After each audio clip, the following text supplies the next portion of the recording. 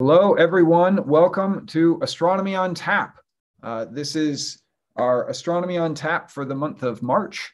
Um, Pi Day, it's March 14th, 3.14. And, and I'm Dr. Cameron Hummels. I'm your, your host for this evening's event. I'm a computational astrophysicist at Caltech.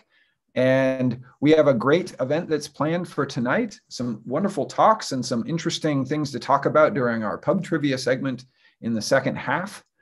Thanks for thanks for taking your Monday night to, to join in. Uh, a couple of announcements, and then I will bring our speakers on, and each speaker will give a 15 minute presentation um, on their research on the on on the exploration of Venus first, and then on uh, astronomical clocks and what they've revealed about the physical processes in in the world around us over the last 400 years or so. Super exciting stuff.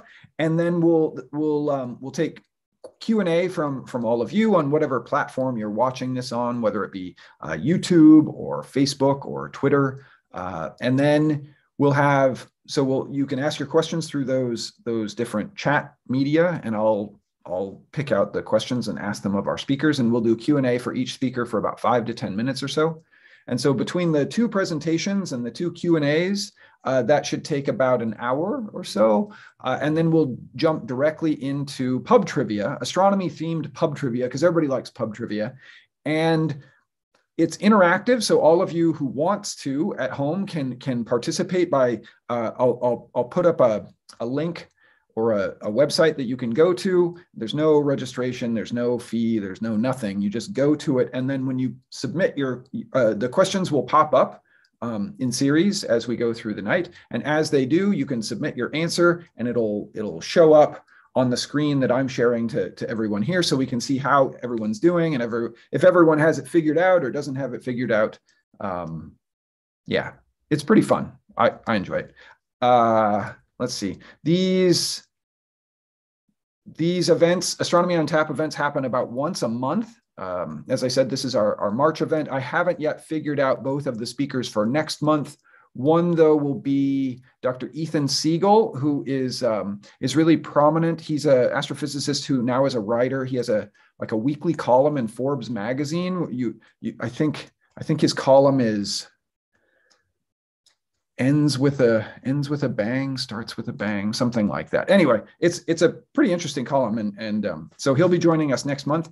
And then we have a sister series of events called the caltech astronomy stargazing lecture that occur once a month. Our next one of those will be april 8th friday night april 8th and will be given by professor saul Teukolsky who's a senior professor in the caltech astronomy department who primarily works with um, numerical relativity uh, gravitational waves, the strong, strong uh, gravitational regime, the extreme gravitational regime around black holes and white dwarfs and, and things like that.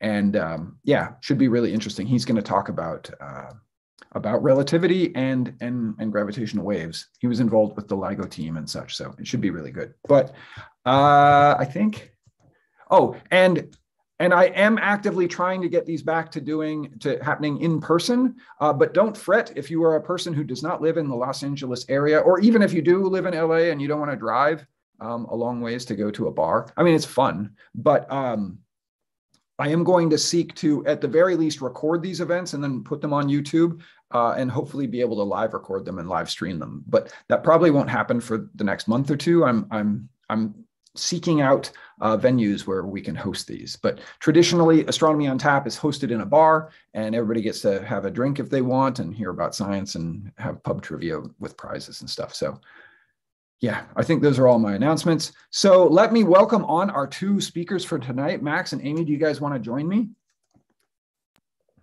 Hey, guys, how's it going? Welcome, welcome. what, what's that? It's going. It's going. I really like your Back to Venus shirt, like Back to the Future. That's pretty sweet. Thank you. Thank you. Is there a way that that that that uh, that plebes like myself can purchase such a such a, a shirt? Absolutely, I can send you the uh, I can send you the link. It's uh, one of my co-Is on Da Vinci. He designed them, and they're selling them for no no profit. It's just because we want to get Venus out there. Oh, sweet! Mhm. Is it something that we can offer to the the people who are viewing? Totally, it's on Redbubble. So uh, if there's a Oh. way for me to send you the link and you can share it with everybody. Sure, sure, sure. I can put it in the in the various different uh, chat comments and stuff so people can check it out if they want. Awesome. Yeah, it's a pretty Awesome. shirt. Who knew this was going to have merch? um, oh, Max, you've got University of Chicago. Okay, that's a that's a respectable uh, Yerkes astronomical- Observatory. Oh, you're not, not inverted though, so you, you gotta you gotta flip it in your head. Yeah. Nice. Cool. Well, as I said, Astronomy on Tap is typically held in a bar. Um, are you guys, not that there's pressure to do so, but are you guys uh, consuming, imbibing any kind of beverages? Ooh. Oh, nice glasses, team. Yeah, that's right. Clink. Oh, it disappeared. Yeah. um, what, what are you guys drinking? I've got some Glenmorangie Scotch. Ooh. Got some Weller bourbon. Oh, You win. wow. That's the You guys- better drink. You guys are outclassing my uh my Helles beer. The lightest one. the lightest one. It's it, I didn't want to get too saucy tonight, so Mm. anyway, um okay. Well, Amy, I believe you are our first speaker. Would you like to share your screen and I can give a, a brief introduction? Absolutely. I thought you were going to say the first contestant. This is either The Price is Right or Squid Game. I'm First not victim. which. yes, I will share my screen. Squid Game. Pretty rough. Pretty And rough. Tell me what you see. Yeah, it's the it's the slide. It looks great. Excellent. Um, okay. Dr. Amy Hofmann is a geochemist working at the NASA Jet Propulsion Laboratory. Her research focuses on the physical and chemical processes responsible for modifying various solar system materials, and particularly in studying the isotopic composition of different planets and moons in our solar system. Uh, she is a member of the NASA Mars Curiosity and the NASA Venus Da Vinci teams, of which we're going to hear about tonight. And in addition, Dr. Hofmann is a voracious reader and she enjoys the outdoors and CrossFit. Oh, cool. That's cool. Nobody should ask me to flex though, because that would just be inappropriate. Unless I have enough scotch, I guess. okay, fair enough. Fair enough.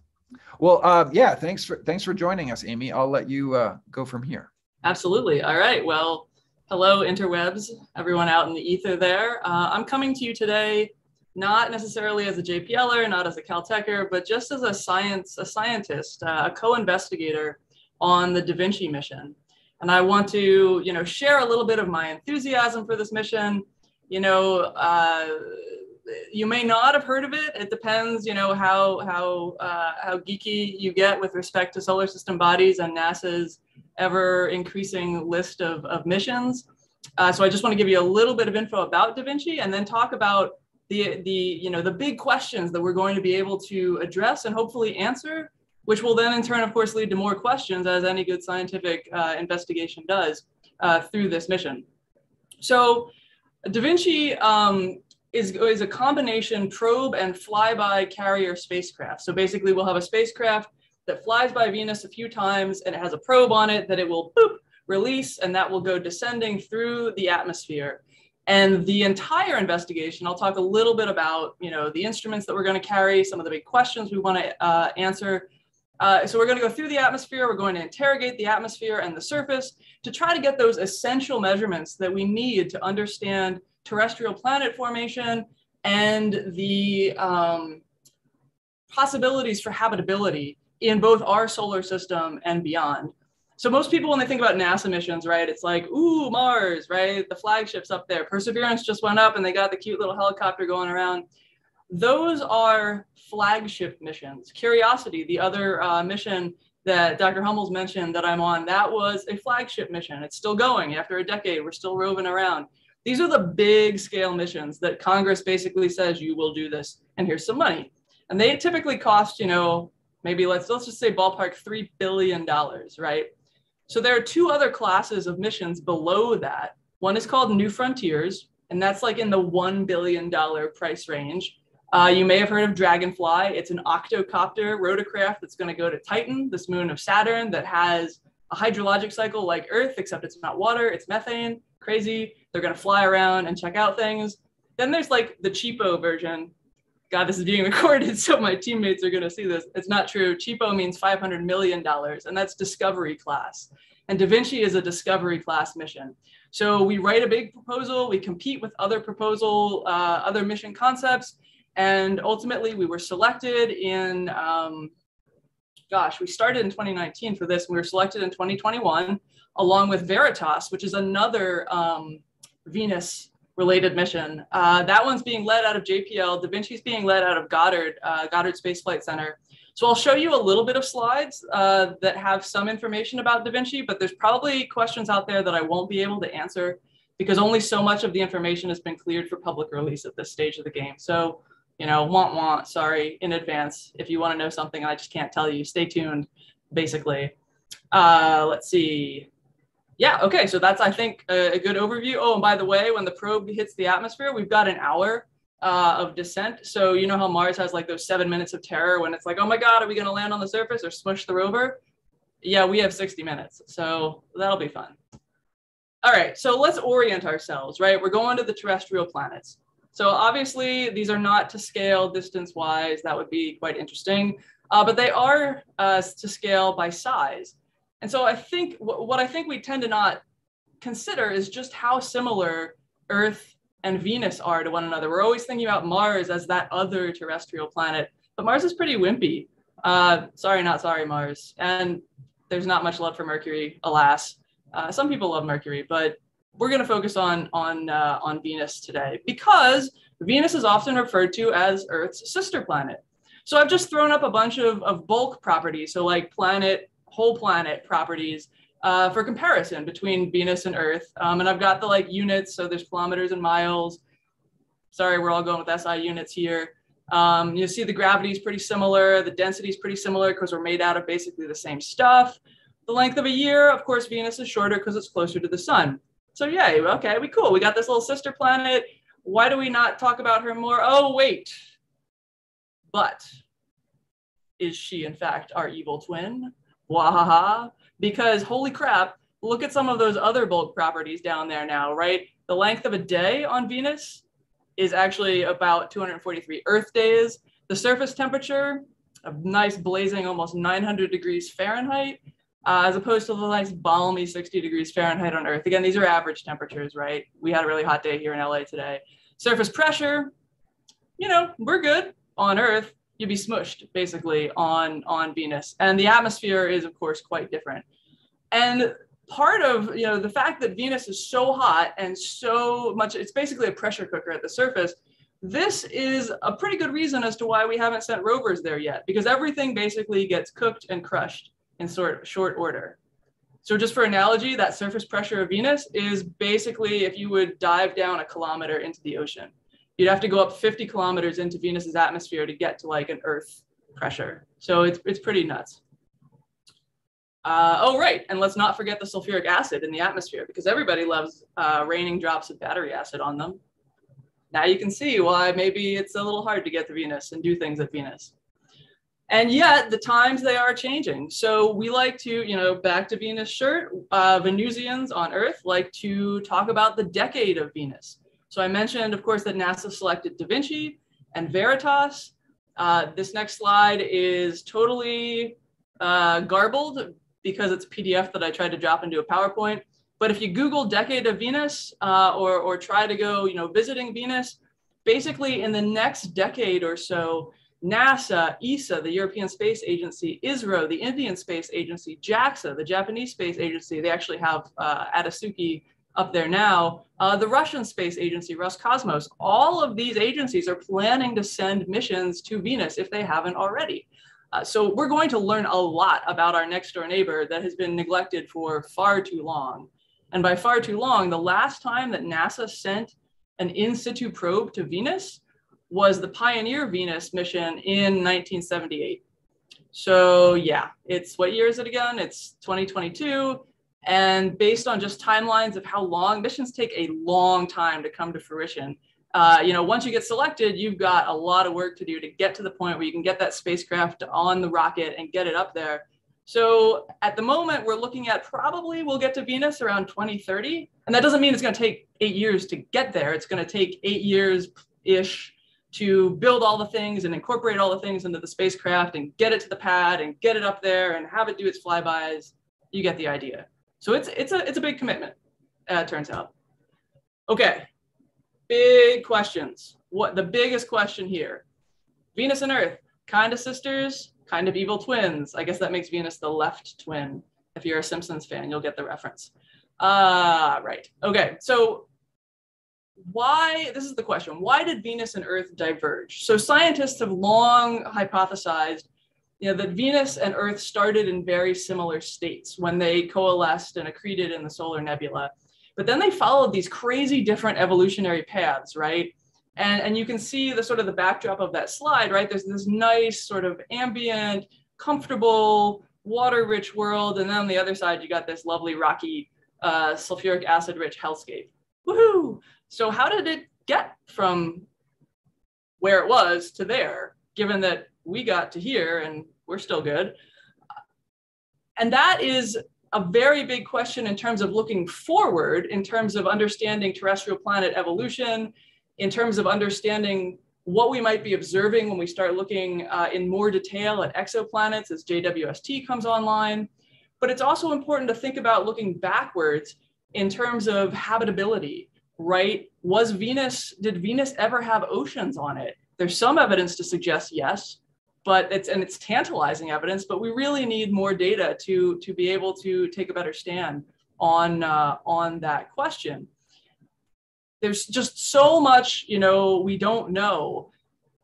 And it, it begs the question why haven't we been back to venus? Well i just told you it's crazy difficult to to send probes in there. And also mars takes all everybody's attention. Mars mars mars. I love mars but we've been neglecting a planet that in many ways has just as much information to share just as big a story to share with us so i told you i'd talk about da vinci right so we're looking at answering some big questions that sort of fall under that scope uh, of the two big ones that I that I put uh, on the previous slide. So did the inner planets form from similar materials?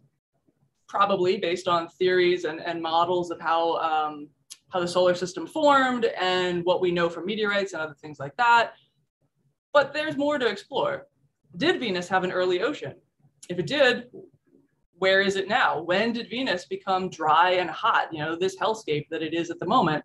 And how was volcanism involved in all of that, uh, in all of that process? You know, there are a lot of things tied together here, all of which Da Vinci is going to probe, excuse me, largely through atmospheric chemistry. So when we start to descend through the atmosphere, we'll be making hundreds of measurements of the atmospheric composition.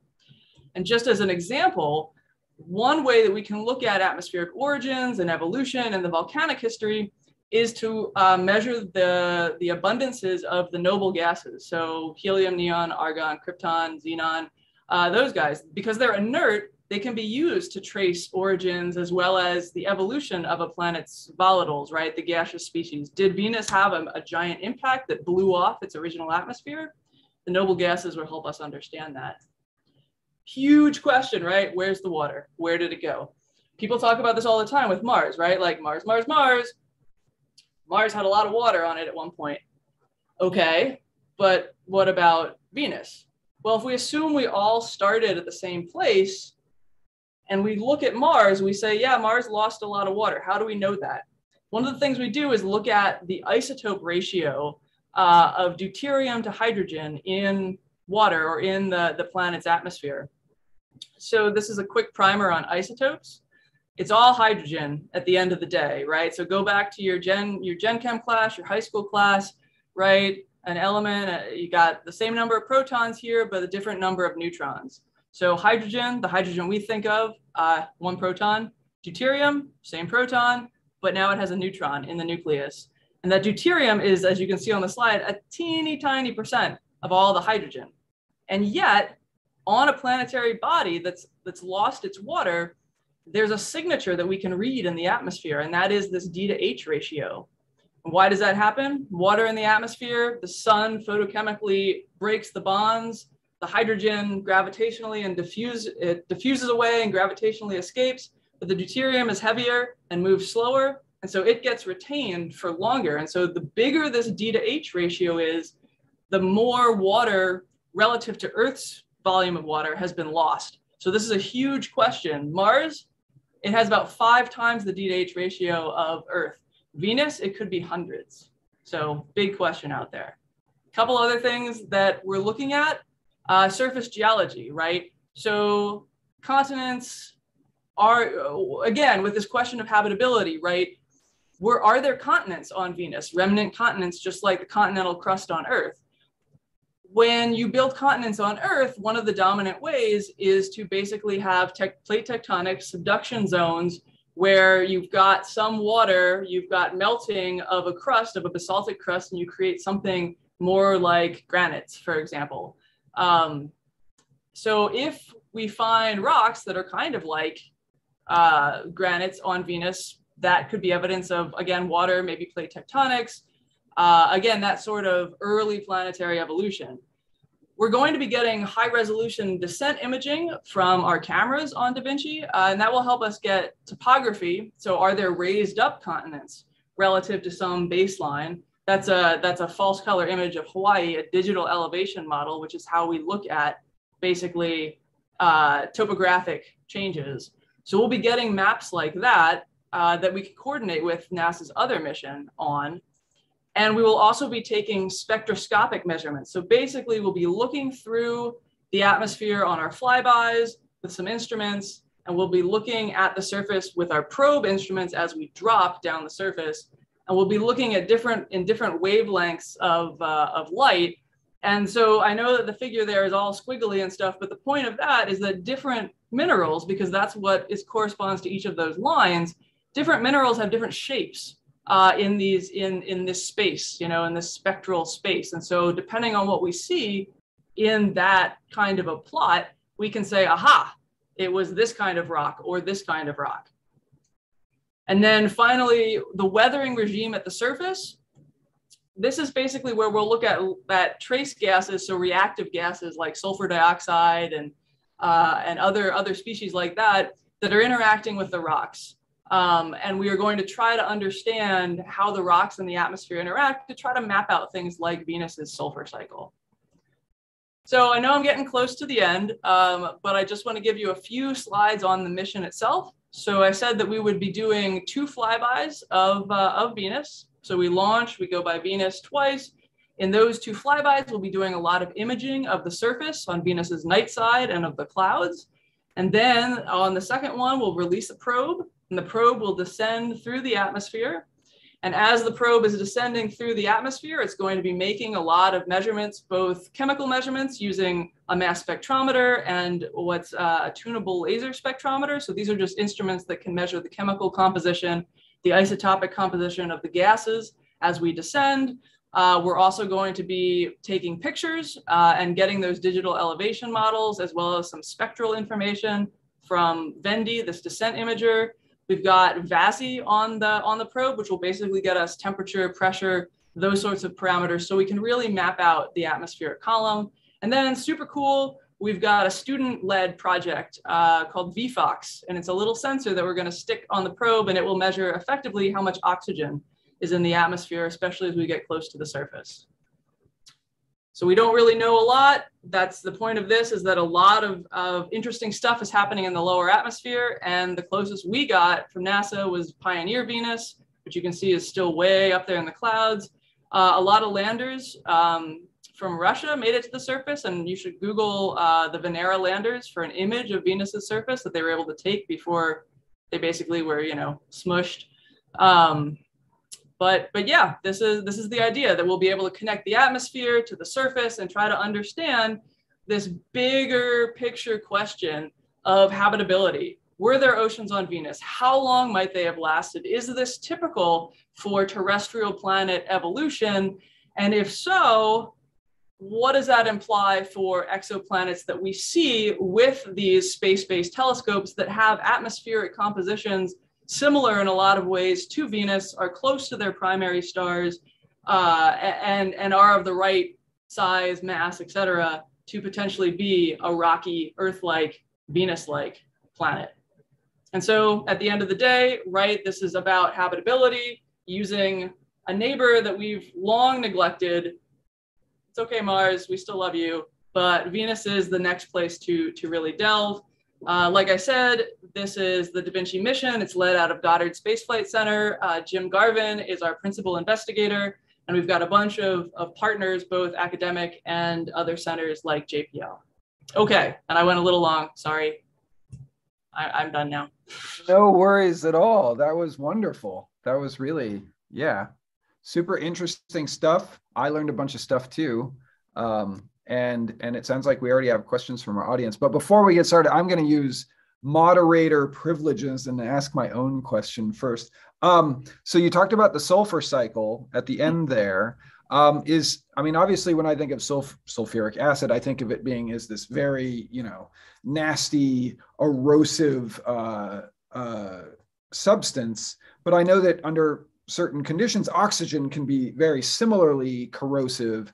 Um, do we find, I mean, do we expect that environment to be worse for the the surface processes and for the materials that are on the surface of of Venus relative to the presence of oxygen and the other gases that we have here?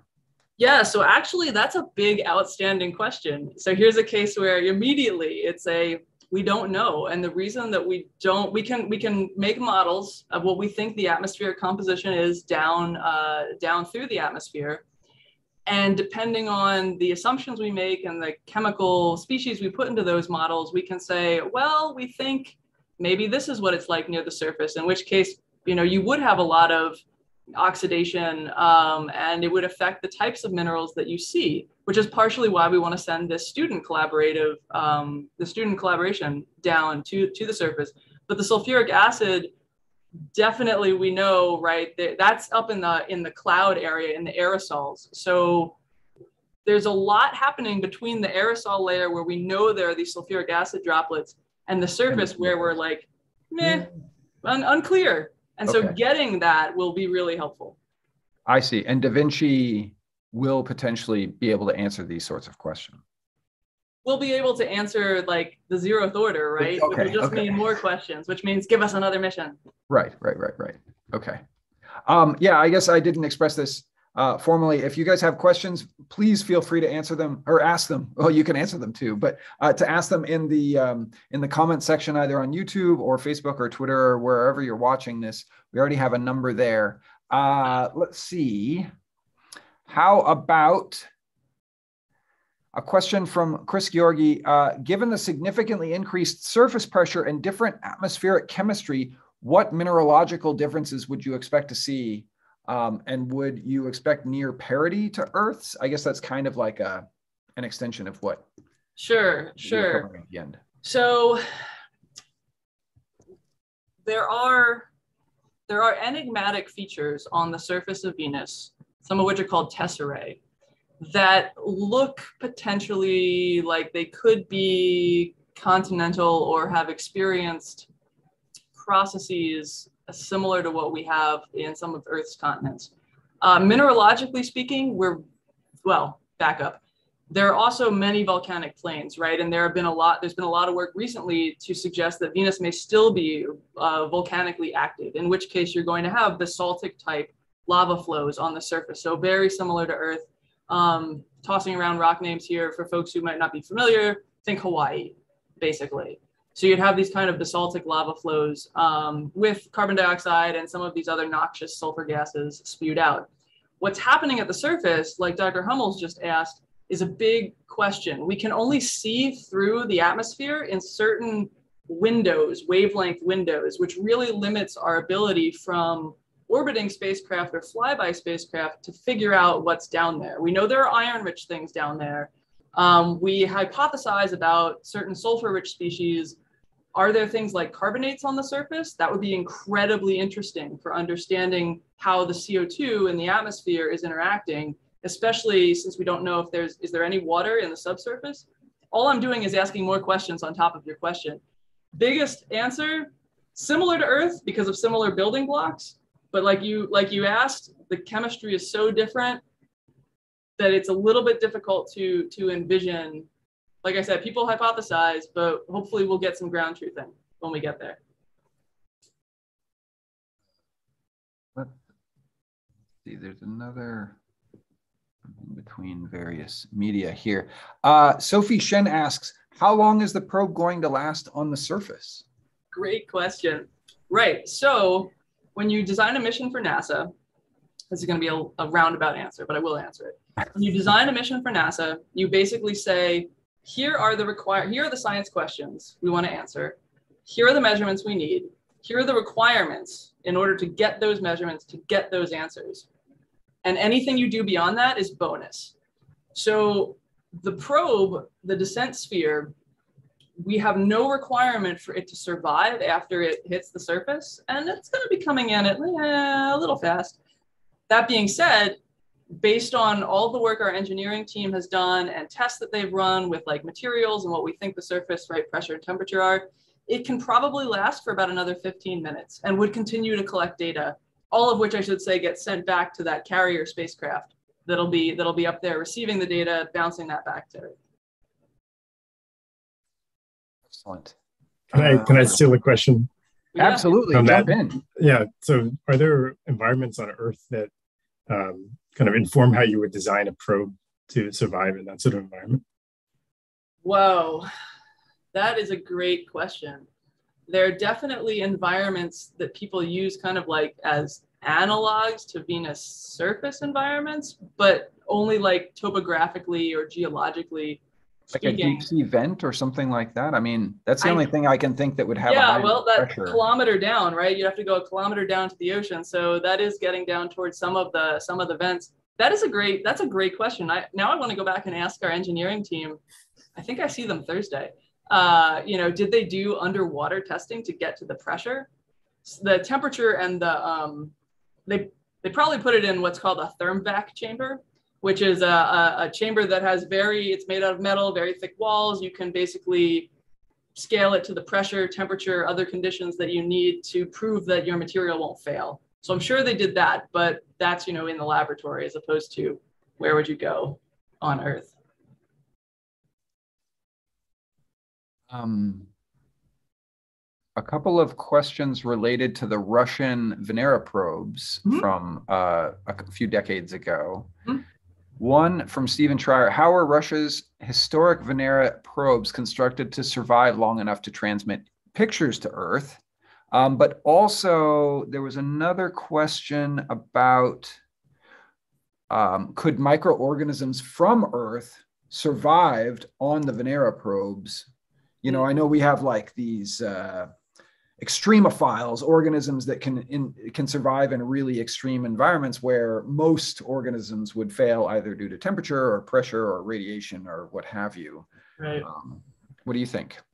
Well, so I don't know enough about the Venera architecture to answer the first question. Apologies. I'm not even sure if that information is available. It may not be, right? especially now. Yeah, yeah. Everything. Uh, and and there really were i mean they it's like a snapshot. It's a panorama from the front side and a panorama from the back side of one of the landers. Several of them took pictures. Um, one of them you can see is kind of crushed a little bit too so lord only knows how long it lasted. Uh, but yeah I, I don't know the technical details. I'm curious but yeah i suspect you know trade secrets kind of things proprietary information.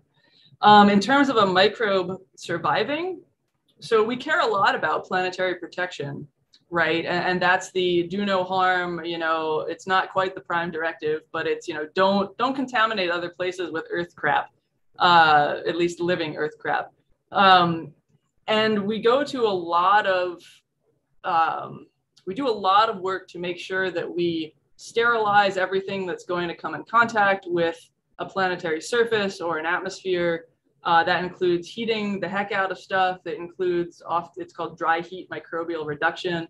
It includes washes in like pretty concentrated hydrogen peroxide. I don't know what the Russians did, but NASA certainly has a, a, a set of requirements that you have to treat the spacecraft, and that changes depending on where you go. Like Europa Clipper, which is going to Europa, the moon of Jupiter, that has a thick ice shell overlying a, an under an ocean that's more voluminous than all of Earth's and has been around probably for four billion years you do a lot of different things there, even more stringent than Mars.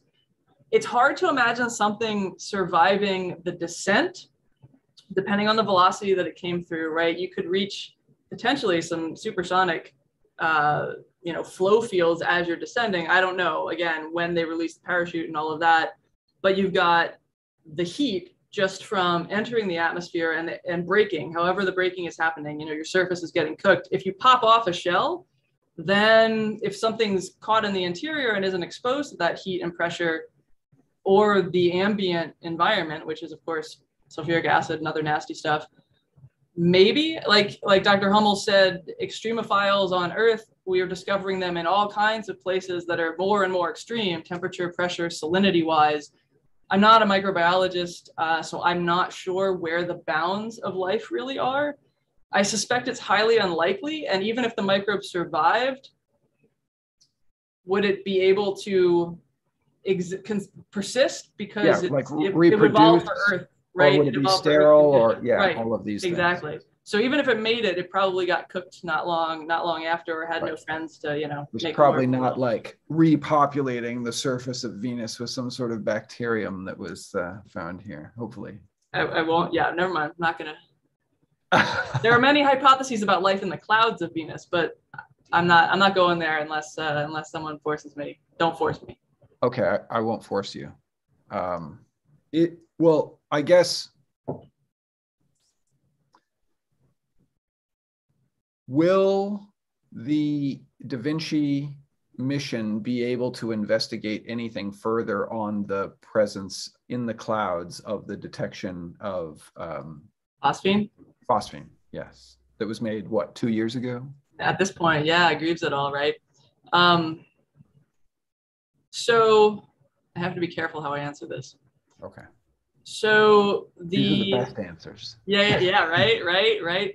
So one of the instruments we're flying that I'm actually helping build uh, has the capacity to add an extra, some extra components that's above and beyond what we told NASA we would do. And often when those things happen, it's like, well, it's going to cost more money.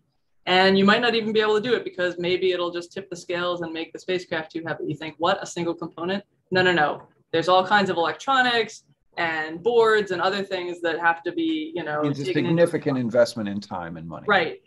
So hypothetically, we could potentially augment one of our instruments to look for phosphine, PH3, but that is not a part of the mission's plan at the moment. We will be talking to the scientific community more about it to see how much interest there is in it. And then, then it's up to NASA headquarters whether they want to, whether they would be interested and then whether it's even feasible to do.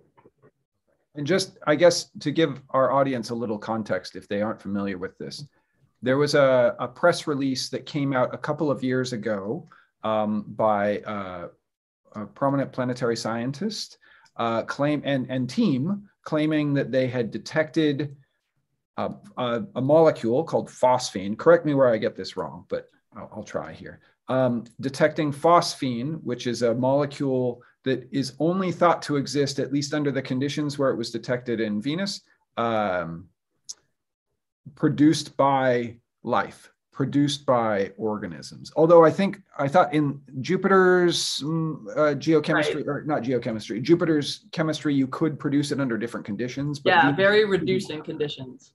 Okay. You need a lot of hydrogen gas, and Venus's atmosphere doesn't have that. Um, and and the key point that you said was on Earth, we know that we think actually we don't even know that much about phosphine on Earth. We we we know it's generated and it seems to be associated with microbes. But the key piece is that it shouldn't it's what we call a disequilibrium species. So that just means that it should be broken down almost immediately in the Venusian atmosphere. So if it's there, why is it there? And how long does it last? And if it lasts long enough to make these observations, where's it coming from? I see. So it could be, at least why it made such a splash because new molecules are det- well maybe not i don't know i imagine new, new molecules are detected in other planetary bodies probably not too infrequently but but in this case it was associated with a byproduct of life and so it was like oh is this the first glimpse that we've had of potentially life existing you know a biomarker of of, of life existing somewhere else than than earth yep. which of course is like potentially one of the most historic discoveries of all time. Um, it would be. But then there was, you know, some met with some criticism after the fact in terms of the data analysis and all of that. But given that you guys are going to Venus, this seems like an apt thing to potentially look for, given that yeah. it could be. I mean, it's an example of how science works, right? They present an interpretation of data. Other people say, nah, we think you did this wrong, and here's why. Right. And now we have a chance to sort of test that hypothesis by collecting data right there in situ. Whether it happens or not, don't know. Stay tuned. But yeah. Cool. Um, well, yeah, I've we've I've I've bounced a lot of questions off you. Thank you for being so patient, and thank our audience. Um, Max, sorry, I I we went to town on that with lots of Q and A. So um, thank you very much, Dr. Hofmann, for your uh, presentation and for answering all of our and my questions. Um, okay, we will move on to Max Goldberg. Uh, do you want to share your screen, Max? Yeah, let's do uh, yeah, look, it looks great. It's beautiful slides, man. This looks great. Um, okay, so Max Goldberg is a graduate student in astrophysics at Caltech. Using computer simulations and telescope observations, he studies how systems of planets outside our solar system form and evolve. Excuse me. In addition, he enjoys skiing and playing the piano, particularly ragtime and jazz. Oh man, if I'd known this, I would have had you do some sort of some sort of little performance for us. That sounds awesome. Ragtime music's pretty sweet. Doing a talk. You want, yeah. want me to double up? I guess that's. I guess there's only so many things you can commit to.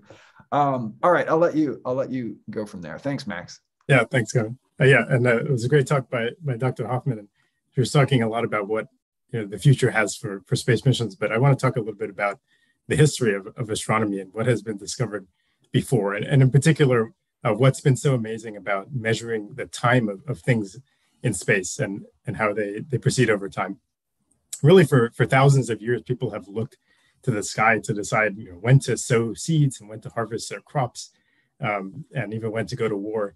Uh, i won't start thousands of years ago. I'm going to start i said 400 years ago uh, when galileo first pointed a telescope at the, the sky. And so one of the first things that galileo looked at was jupiter which is uh, one of the brightest planets in the sky. It's very prominent. And what galileo um, saw is he, a few points of light around jupiter. And uh, over the next couple days, he kept observing it, and he saw these these points move around. So sometimes there were some on, on one side of Jupiter, and sometimes they were on the other side. And he recorded this, this data here of the points that he saw. And uh, and he realized within a couple weeks that these these dots were actually objects that were orbiting Jupiter. So they were going on little circles around Jupiter, and there were four of them. Uh, we these are their modern names, not what Galileo called them, but we call them the Galilean moons. And the there, there's Io, which orbits Jupiter in 1.8 days, Europa in 3.6, Ganymede in 7.2, and then uh, Callisto in, in 16.7 days. And so these, these moons go on these very regular orbits um, around Jupiter. And this is an amazing discovery for a lot of reasons. Um, but what I want to talk about is, is the fact that Galileo was looking at a, a clock in the sky. Um, and so this is something that like, I think Galileo would have realized immediately because he actually invented the, the pendulum clock. And I think he would have been pretty familiar with um, timekeeping. Um, but so this had really practical implications immediately. And the reason was that in the 1600s, when this was discovered, um, so these are the, the moons of, of Jupiter. So you really wanted to know where you were um, in the age in this age of exploration. So there are lots of people on boats traveling all across the world, and they wanted to know uh, where they were on Earth um, without, you know, they didn't have GPS or and even the, the maps were not so accurate. Um, so finding your latitude on Earth is actually pretty straightforward. So latitude is, is how far you are north and south of the equator. Um, that's pretty easy because you can just look for the North Star. So if the North Star is directly overhead, then you're at the North Pole. If the North Star is 45 degrees above the horizon, then your 45 your latitude is 45 degrees. Um, but finding your longitude is, is much harder. So longitude is how far east and, and west you are. And the problem with longitude is that the Earth rotates. And so if you if you sort of move over um, then you're in the same position than a little bit later when the Earth has, has rotated and moved it into place. So you can't just look at the stars and see where they are relative to the horizon um, and calculate your longitude, unless you know what time it is. So if you know what time it is, um, then you can, because the sky rotates uh, overnight, you can look at where the stars are at, and uh, where they should be given the time and use that to calculate your longitude. Um, unfortunately, calculating the time is, was actually really hard in the 1600s. So there were some accurate clocks, particularly in churches, for example, but these are huge clocks, right? And uh, even a pendulum clock doesn't really work on a boat because the boat is kind of swinging back and forth. Um, so Galileo realized that the Jupiter's moons were a clock in the sky um, that was calibrated for everyone. So what you could do is you could take, uh, if you had a book of when the movements of the moons of Jupiter would happen. So in particular, they were looking for the innermost moon passing in front of Jupiter. You have a book saying when that happens. And then you have a telescope and you look for it. And when that happens, you write down what time it is and you use that to, to synchronize your clock. And then you can calculate your longitude by measuring some stars um, and calculate it from there. And so you can figure out where you are. But the clock has to be accurate because if you're, say, the clock is, say, like 20 minutes off, then you're going to be off by like 300 miles. So it's really important that the clock had to be really, really accurate. Um, so this was a really cool discovery that, that really had practical implications. Um, so one person who, who started working on this in the, the late 1600s was a Danish astronomer named Ole Rømer. And so in Copenhagen, he was uh, observing this, the motions of, of Jupiter's moons and uh, recording the times. And his collaborator Cassini in uh, Paris was doing the same thing in Paris. And so they were uh, recording very precisely the motions of Jupiter's moons. And, and Galileo's technique was rather, uh, rather successful for this. Um, and then Rømer moved to Paris and he began to observe um, the eclipses of, of Io in front of Jupiter from Paris. Um, but that's where he noticed the problem. So they had started to write you know, tables of when uh, Io would pass in front of Jupiter precisely, and then they would actually observe that. And what Romer found was that these uh, the passes of, of Io in front of Jupiter were happening a little bit off of their predictions. So sometimes they would happen a little early, like 10 minutes early, and other times they would happen a little late. And, and Romer's uh, really amazing realization was that these differences were happening um, because of the, the, position of Earth within its orbit. So uh, Rømer realized that the eclipses happened early, sorry, they happened late when Earth was on the other side of the sun uh, from where Jupiter was. And then they happened early when Earth was on the same side of the sun as where Jupiter was. And the difference was about 20 minutes. Uh, and the, the really amazing discovery by Rømer was that this would all make sense if light took time to cross uh, Earth's orbit. So at the time, people thought that light was instantaneous. So any, attempt to measure the speed of light had completely failed. It seemed like it was something that happened immediately. But Rømer realized that if light took uh, 20 minutes, 22 mi minutes to cross Earth's orbit from the top to the bottom, then it would explain these um, measurements that were off. Why he was getting sometimes the information early and sometimes it was late was because the light was simply getting to him earlier uh, when Earth was closer to Jupiter and uh, it was taking longer when Earth was farther away. So this was a really groundbreaking discovery. Um, and really there wasn't any good measurement of, of the speed of light for like another 100 years. So it was really um, an incredible thing. Okay, so that's the first story of, of the importance of, of, clocks in astronomy. And so let's jump forward about 200 years um, to Harvard Observatory in the early 1900s. So a group of women at Harvard who were called the Harvard Computers at the time um, were looking really closely into stars in our local, uh, around our, us in our local universe. And they were measuring really precisely what these stars looked like and how bright they were, taking tons and tons of images um, from the telescopes there. So one, uh, one of these astronomers in particular, Henrietta Swan Leavitt, was looking at a type of star called the Cepheid variable. So uh, variable stars are ones that, that change in brightness. And Cepheids uh, go up and down in brightness in a very smooth pattern. And it takes some amount of time for them to get brighter and dimmer, um, which can be anywhere, anywhere from a couple days to several weeks or even several months. And uh, what Leavitt discovered rather incredibly was that there was a perfect relationship between um, how long it took for the star to get bright and dim and how bright the star actually was. Um, so she, she drew these, these plots here. Um, so the, the bottom you have the period of the brightness. So how long does it take for one cycle of brightening and then dimming? Um, and then on the y-axis uh, up and down is how bright the star is. Um, so this is a, now a, another celestial clock. So these stars were, are uh, contracting and expanding and changing their brightness in a very precise time. And now you can go from one to the other in terms of uh, how long that takes and how bright the star is. So if you see how bright it is, you can estimate how long it'll take um, to change in brightness. And then if you measure how long it takes, you can estimate how bright it is. But actually, this is really important because in astronomy, it's really hard to measure how far away things are. That's because if you have something that's very faint, it's not clear that it's faint because it's really far away or because it just intrinsically doesn't produce a lot of light. Um, but the Cepheids fix this problem because we know how much light they produce because of this calibration curve um, that Leavitt had created. Um, so the first astronomer to really uh, work on this and, and, make a major discovery with Cepheids was Ed, Edwin Hubble. So Hubble was using the 100-inch uh, telescope at Mount Wilson, which is a few miles from Caltech, and he was taking um, images of some nearby, what they called at the time, spiral nebulae. So there were all these big uh, spiral-shaped objects in the sky, and there was a debate at the time in astronomy of whether these objects were just gaseous clouds in our galaxy, which some nebulae are, or whether they were really distant objects that were more like um, their own galaxies. So Hubble was looking at um, this Andromeda Nebula, and he, he realized that one of these stars um, that you could actually see in the telescope uh, appeared to be getting brighter and then dimmer and then brighter and then dimmer. And he actually, originally he thought this was a nova, which is why it's labeled N on this photographic plate. Um, but then, so nova means it, it, it's a new star, it gets bright, um, and then it dims, but then it, it got bright again. And so they realized this was not a nova, it's actually a variable star. And in fact, it was a Cepheid. So he immediately realized that this was really important um, because you could measure how long it took for this Cepheid in Andromeda to get brighter and dimmer, which was about 30 days. Um, and then you could measure how bright this uh, Cepheid star was in Andromeda. And it turns out that it was really faint. Um, so back to, to uh, Leavitt's curve here, we have this, this calibrated curve of where um, how bright the Cepheid is versus how long it takes to brighten and dim.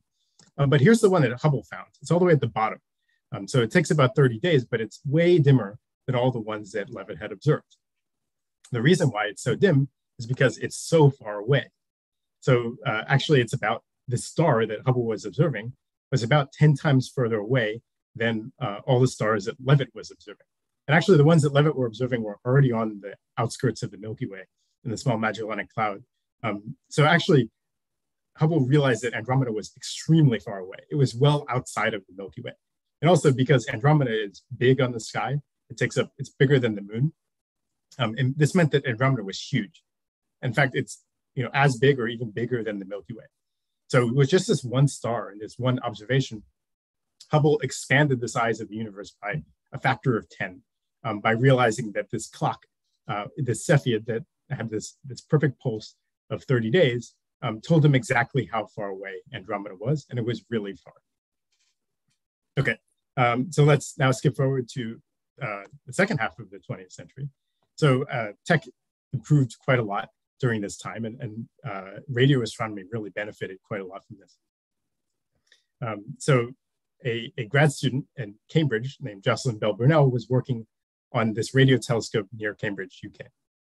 And uh, as with a lot of radio telescopes here, it's just kind of a bunch of poles and wires, uh, but this was really state of the art equipment. And uh, she was looking at some of the data coming through in the late 70s, and, and she started to see a kind of unusual signal. Um, so this there's a lot of unusual signals in radio astronomy data because you know, microwave ovens and cars produce radio waves that, mess with the telescopes. But this one was was weirder because it kept pulsing um, about every second, and it really seemed like it was coming from space. Uh, and actually, uh, Bell Burnell and her advisor Anthony Hewish uh, actually thought that these maybe were aliens that were transmitting some radio signals down to Earth. Um, but then they discovered a couple of other of these objects, uh, these pulsing objects, uh, in other places in the sky. And so it really seemed like these were just astrophysical objects that are, that are blinking. And within a couple of years, it became clear what they were. And uh, so these objects eventually were called pulsars. And it turns out that they're neutron stars. So neutron stars are these very dense remnants of uh, very massive stars that have exploded. They've gone supernova and they've left behind this dense remnant of neutrons. And uh, because it, they started from very large stars, um, and then contracted to be really small. Like the neutron star is just the size of a city, really. Um, these stars spin really fast and they have very strong magnetic fields. And magnetic fields energize a jet of um, plasma, which emits brightly in, in radio waves. but the star is spinning around. And so it acts kind of like a lighthouse where it has a beam, and this beam sometimes sweeps into our view and causes a flash. And so you get these very regular flashes of radio um, coming from the star. And so this was the source of, of these alien signals. It's really just an astrophysical object. And so the first pulsars that were discovered blinked about once a second, but it turns out uh, they can be much faster. So some of them blink hundreds of times a second. And uh, as astronomers observe them longer and longer, they realize that these objects are amazingly good clocks. So they, they just really pulse exactly at their preferred period, with a few exceptions. Um, even if you compare them, you time them to atomic clocks, um, some pulsars really are, are at that level of accuracy. And so we can record from the radio telescopes uh, very precisely when are these flashes coming. And uh, maybe you've seen this, this before. This is a, famous album cover. This is a pulsar signal. So this is a uh, one of the earliest pulsars uh, discovered by Jocelyn Bell Burnell, and these regular pulses coming in um, at a very precise time. So uh, by the late 90s, or the, the sorry, the early 90s, uh, astronomers were really measuring thousands of pulsars very precisely. So uh, one in particular, one astronomer was uh, Aleksander Wolszczan, and he was working at Arecibo Observatory in Puerto Rico. And he was looking at uh, these very fast pulsars that emit pulses 100 times a second. And he was checking to see whether they were really coming on time. And uh, it turns out that one of them wasn't really. And so there was one in particular that caught his interest. It's PSR 1257 plus 12. Astronomers are very creative in naming objects. Um, so this one had signals that over a few years, sometimes the signals were coming early and sometimes they were coming late. We've heard that story before. Um, but now instead of 20 minutes, this was about two milliseconds. So these are very uh, small changes in the arrival times.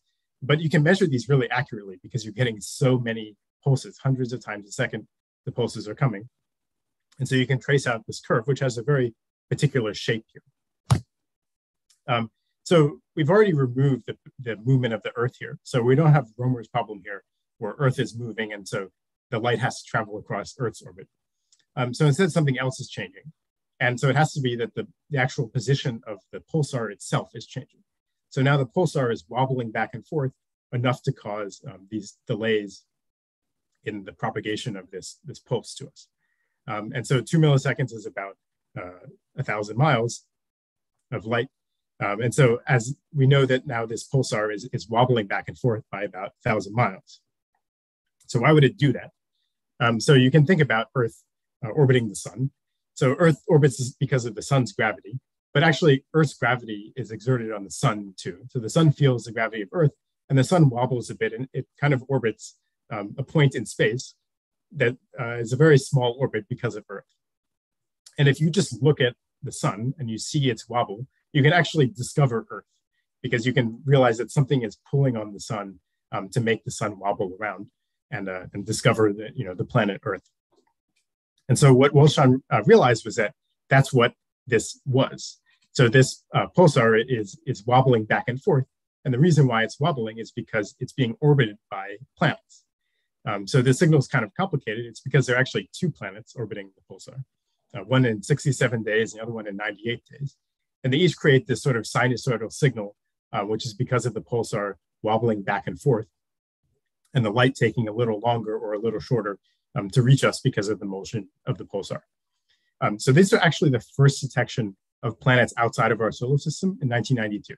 So you may have heard a few years ago the Nobel Prize was awarded for the discovery of extrasolar planets. Um, that was not to Wolszczan, that was actually to uh, Didier Queloz and Michel Mayor, who discovered the first planet around a star like the sun.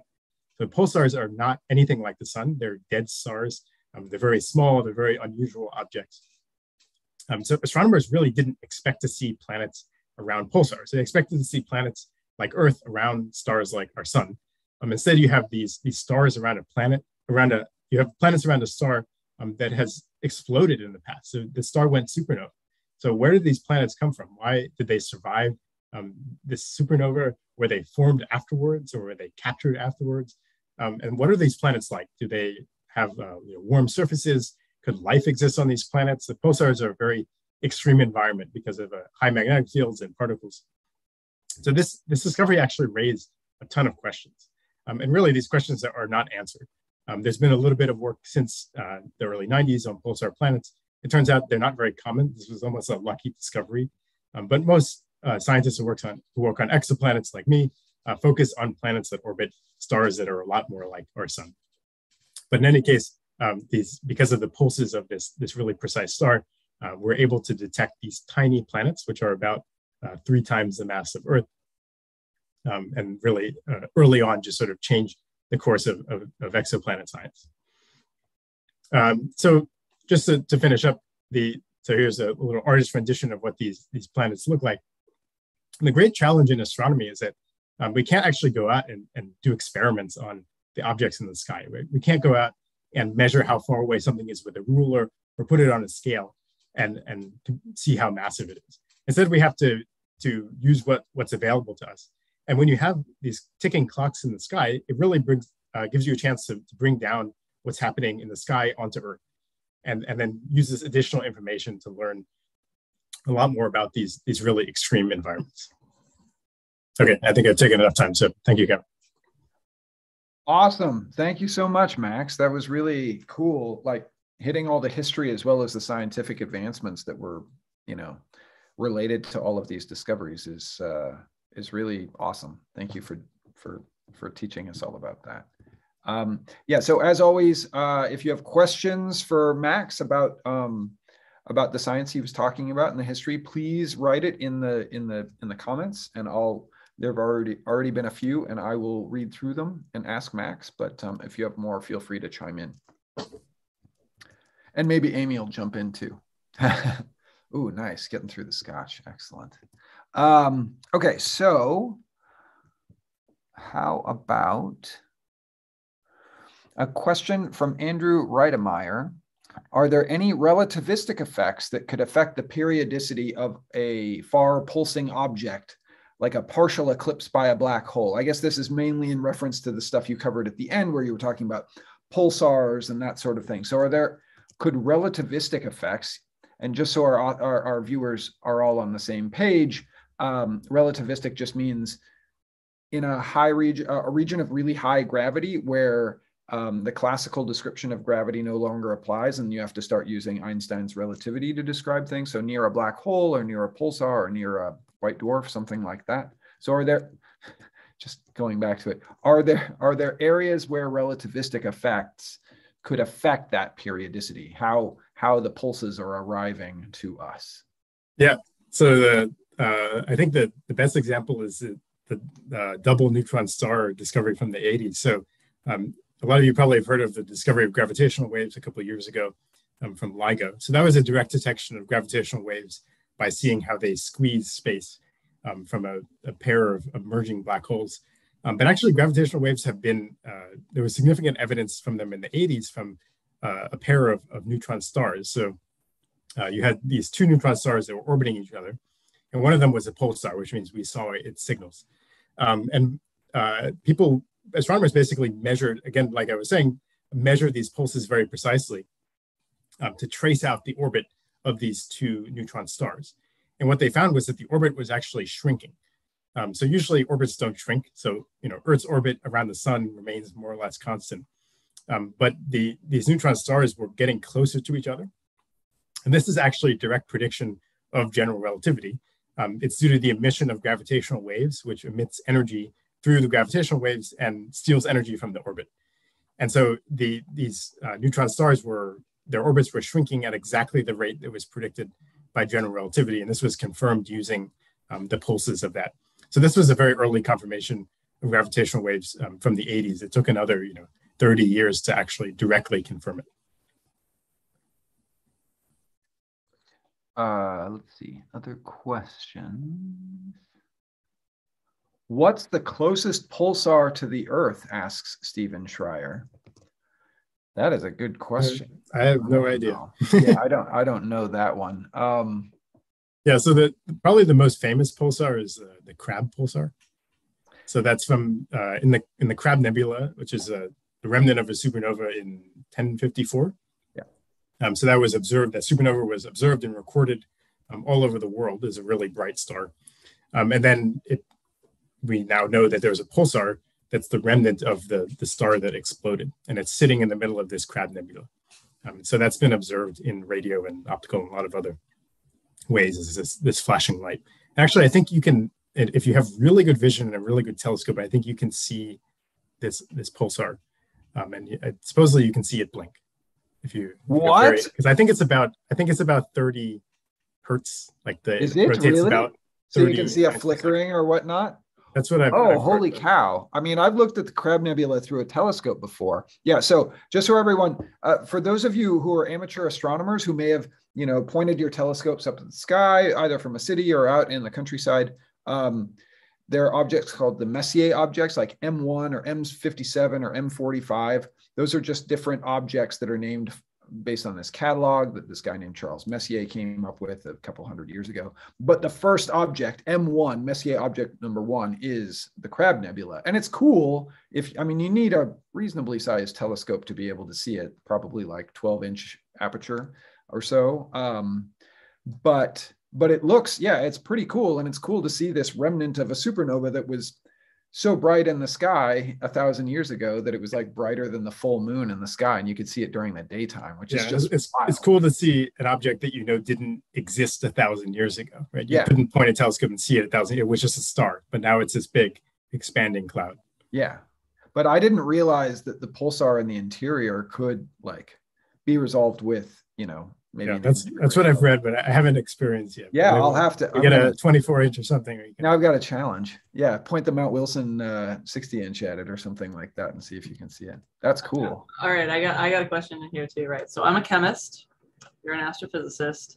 So let's throw it down. Atomic clocks, pulsars. Ooh. more accurate, more. You need you need both, I think. Yeah, so sometimes pulsars have, I don't know much about atomic clocks, but pulsars sometimes have glitches. So they, they are very regular in, in a sense. Um, but two things happen that, that changes a little bit. So one thing is that they can slow down. So they're emitting some energy. And actually this energy comes from their rotation. And so as they emit the energy, they, they have to slow down their rotation. So this happens in a very controlled way. So you can just measure how slowly or how much their, their spin is, is decreasing. Um, and but when so once you account for that, it's, it's very accurate. The other thing is there are these glitches. So sometimes they're they're they kind of skip and they they get shifted off by a little bit, uh, which we think is because of essentially like an earthquake type thing happening on the surface that that shifts it around and um, and then kind of changes the the rotation. Oh, that's super interesting. Thanks, Max. Very cool. They're they're the wind up clocks of. Uh... yeah. That's really yeah. interesting. Thank you. Yeah, no, that's great. And that relates to a question that Lucy asks what kind of phenomena can physically change a neutron star's rotation period? So I guess you're talking about the glitches from some sort of star quake that erupt and could kind of tweak things. But yeah. also, for instance, I thought in general, neutron stars were slowing down. I mean, aside from the one that you were describing for the for the the the binary uh, neutron stars that were slowly slowing down their period because they were emitting gravitational waves. But it was my understanding that neutron stars themselves, when they're pulsing, are slowly slowing down because they're um, there's like magnetic braking. They're they're losing some of their they're tra- transferring some of their rotational energy into magnetic energy that then can slough off in other ways. yeah, yeah, yeah.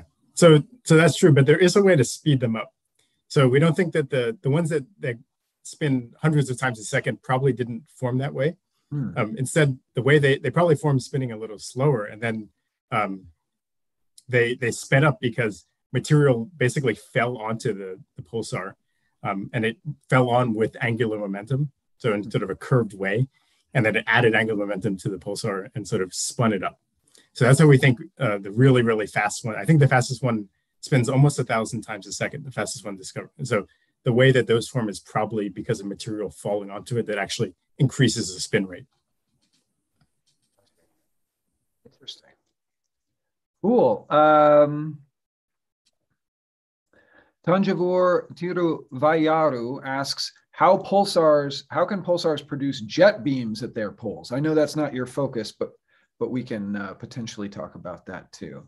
Yeah, maybe maybe Cameron, you can take that one. That's not really okay. I'll, I'll, I'll, see if I can. So um, pulsars are basically any kind of highly rotating object uh, as consistent with what max was describing is oftentimes seeking for a way to slough off some of that rotation some of that angular momentum and and whether it's a, a rotating disk like a protoplanetary disk or if it's like a galaxy um, that's obviously a much larger scale than an individual solar system, but but oftentimes has a, a, a, disk associated with it. And you'll see jets that are flinging out material along that axis. And oftentimes the mechanism is not well understood for that that um, that ejection along the axis that that produces the jet, but the the outcome is is is conclusive, and that is it's a way of flinging out angular momentum from the system to kind of slow down the overall system.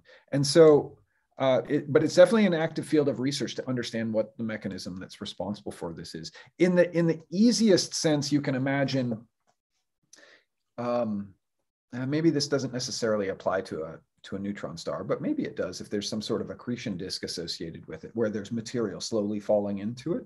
Um, but this is definitely true for galaxies and for protoplanetary disks that uh, I wish I had something. I've got it here.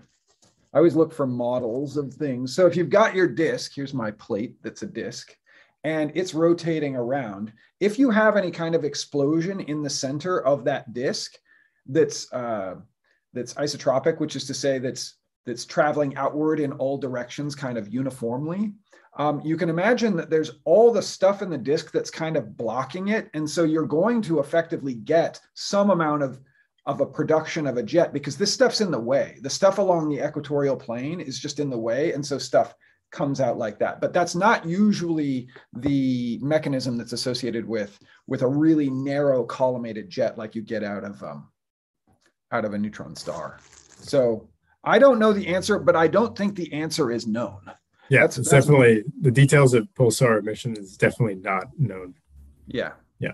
Uh, but related to that, we might we might get some insight from our speaker next month, Saul Teukolsky, who works on numerical relativity and works on some of these uh, very high gravitational regime uh, regions of, of the universe, like near black holes and near pulsars and that sort of thing, who may be able to provide some insight into that. Although I don't think he necessarily knows the answer to. But um, anyway, that's my like get out of jail free card. Is like I don't know the answer, but no one knows the answer. Uh, so okay, let's see. We'll do with one more question and then go on to pub trivia.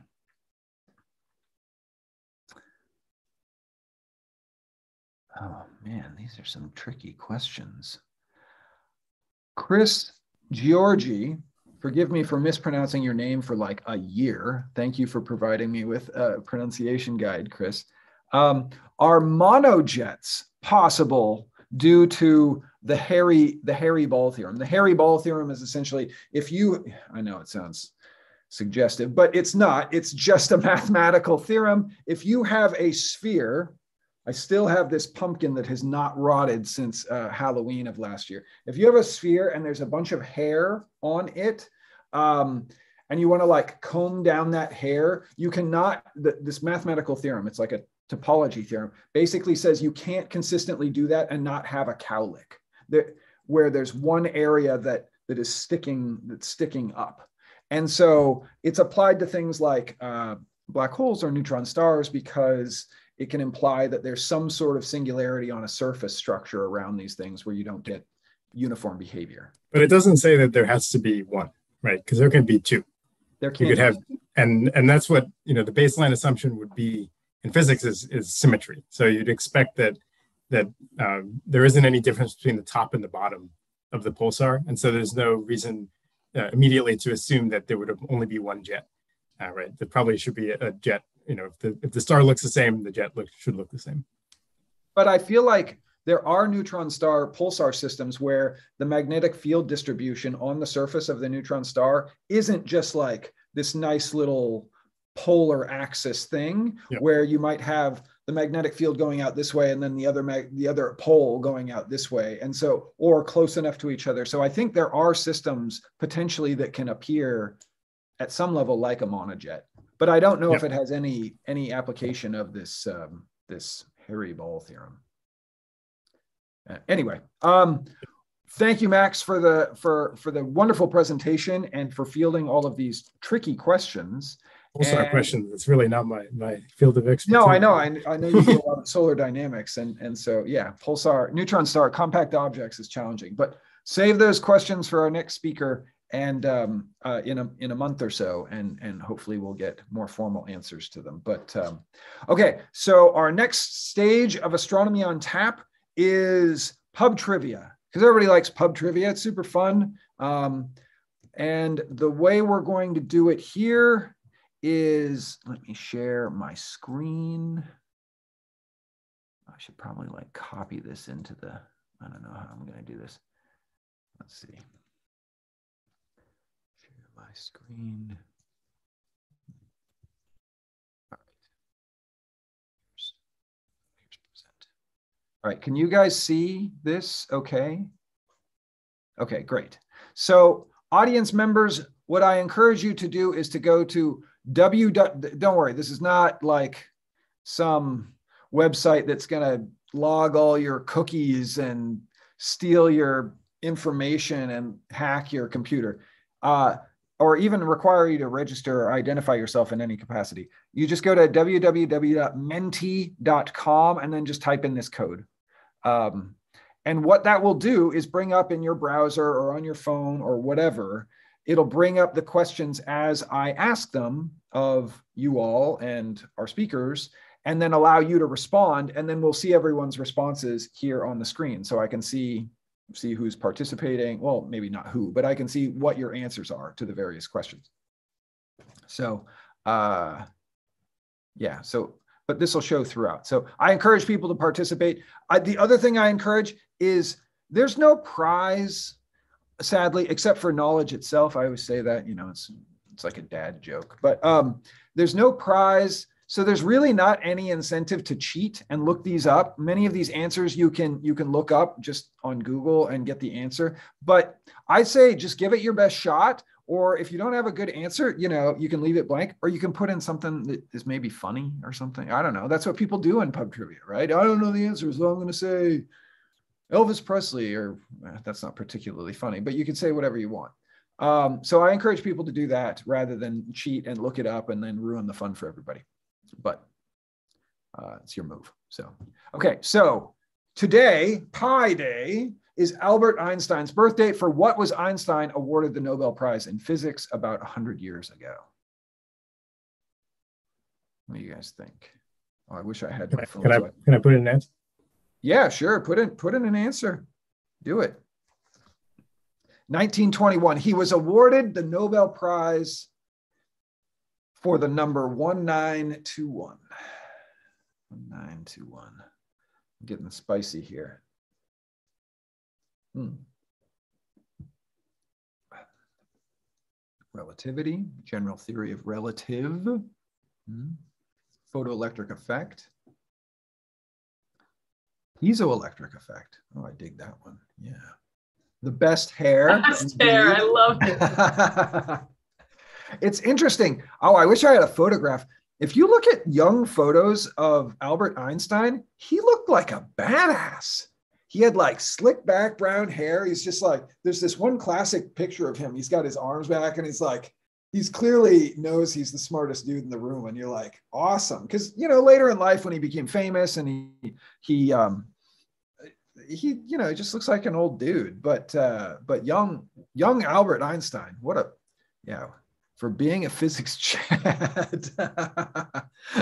uh, there's some good some good ones here. So indeed, many of you guys got the the correct answer. Oh, Brownian motion. That's a that's a good suggestion too. I mean, honestly, he should have received probably a few Nobel prizes. Like the dude did had major contributions to the field in a variety of fields, um, for a variety of contributions. But but the main one for which he received the Nobel Prize was for the photoelectric effect. And the photoelectric effect, as the name kind of suggests, photo means light, electric means, well, electricity. And so the, the main idea is that you've got some sort of uh, photon, light ray that comes in. This is a, a nice little uh, picture, cartoon of what an atom might look like. So you've got your nucleus made of p protons and n neutrons, and then you've got electrons kind of orbiting around it.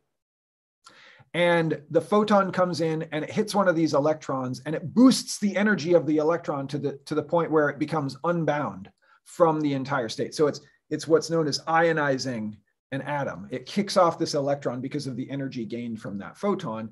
And in his original uh, kind of instrument, he was able to detect this because he, he shined some light on a metal surface that was in kind of a circuit and it caused a current of electrons across a gap basically. That was that was basically it which is a pretty simple thing. This is just the ammeter just measures the current through the entire circuit. Um, but ultimately this is like a major contribution because it it it it suggests the quantum nature of atoms that you have these electrons that are bound and they have to be boosted. It uh, you know it's the direct application of things like this is like a, a uh, an LED, a light, well, it's the reverse of a light emitting diode. It's a light absorbing diode, basically.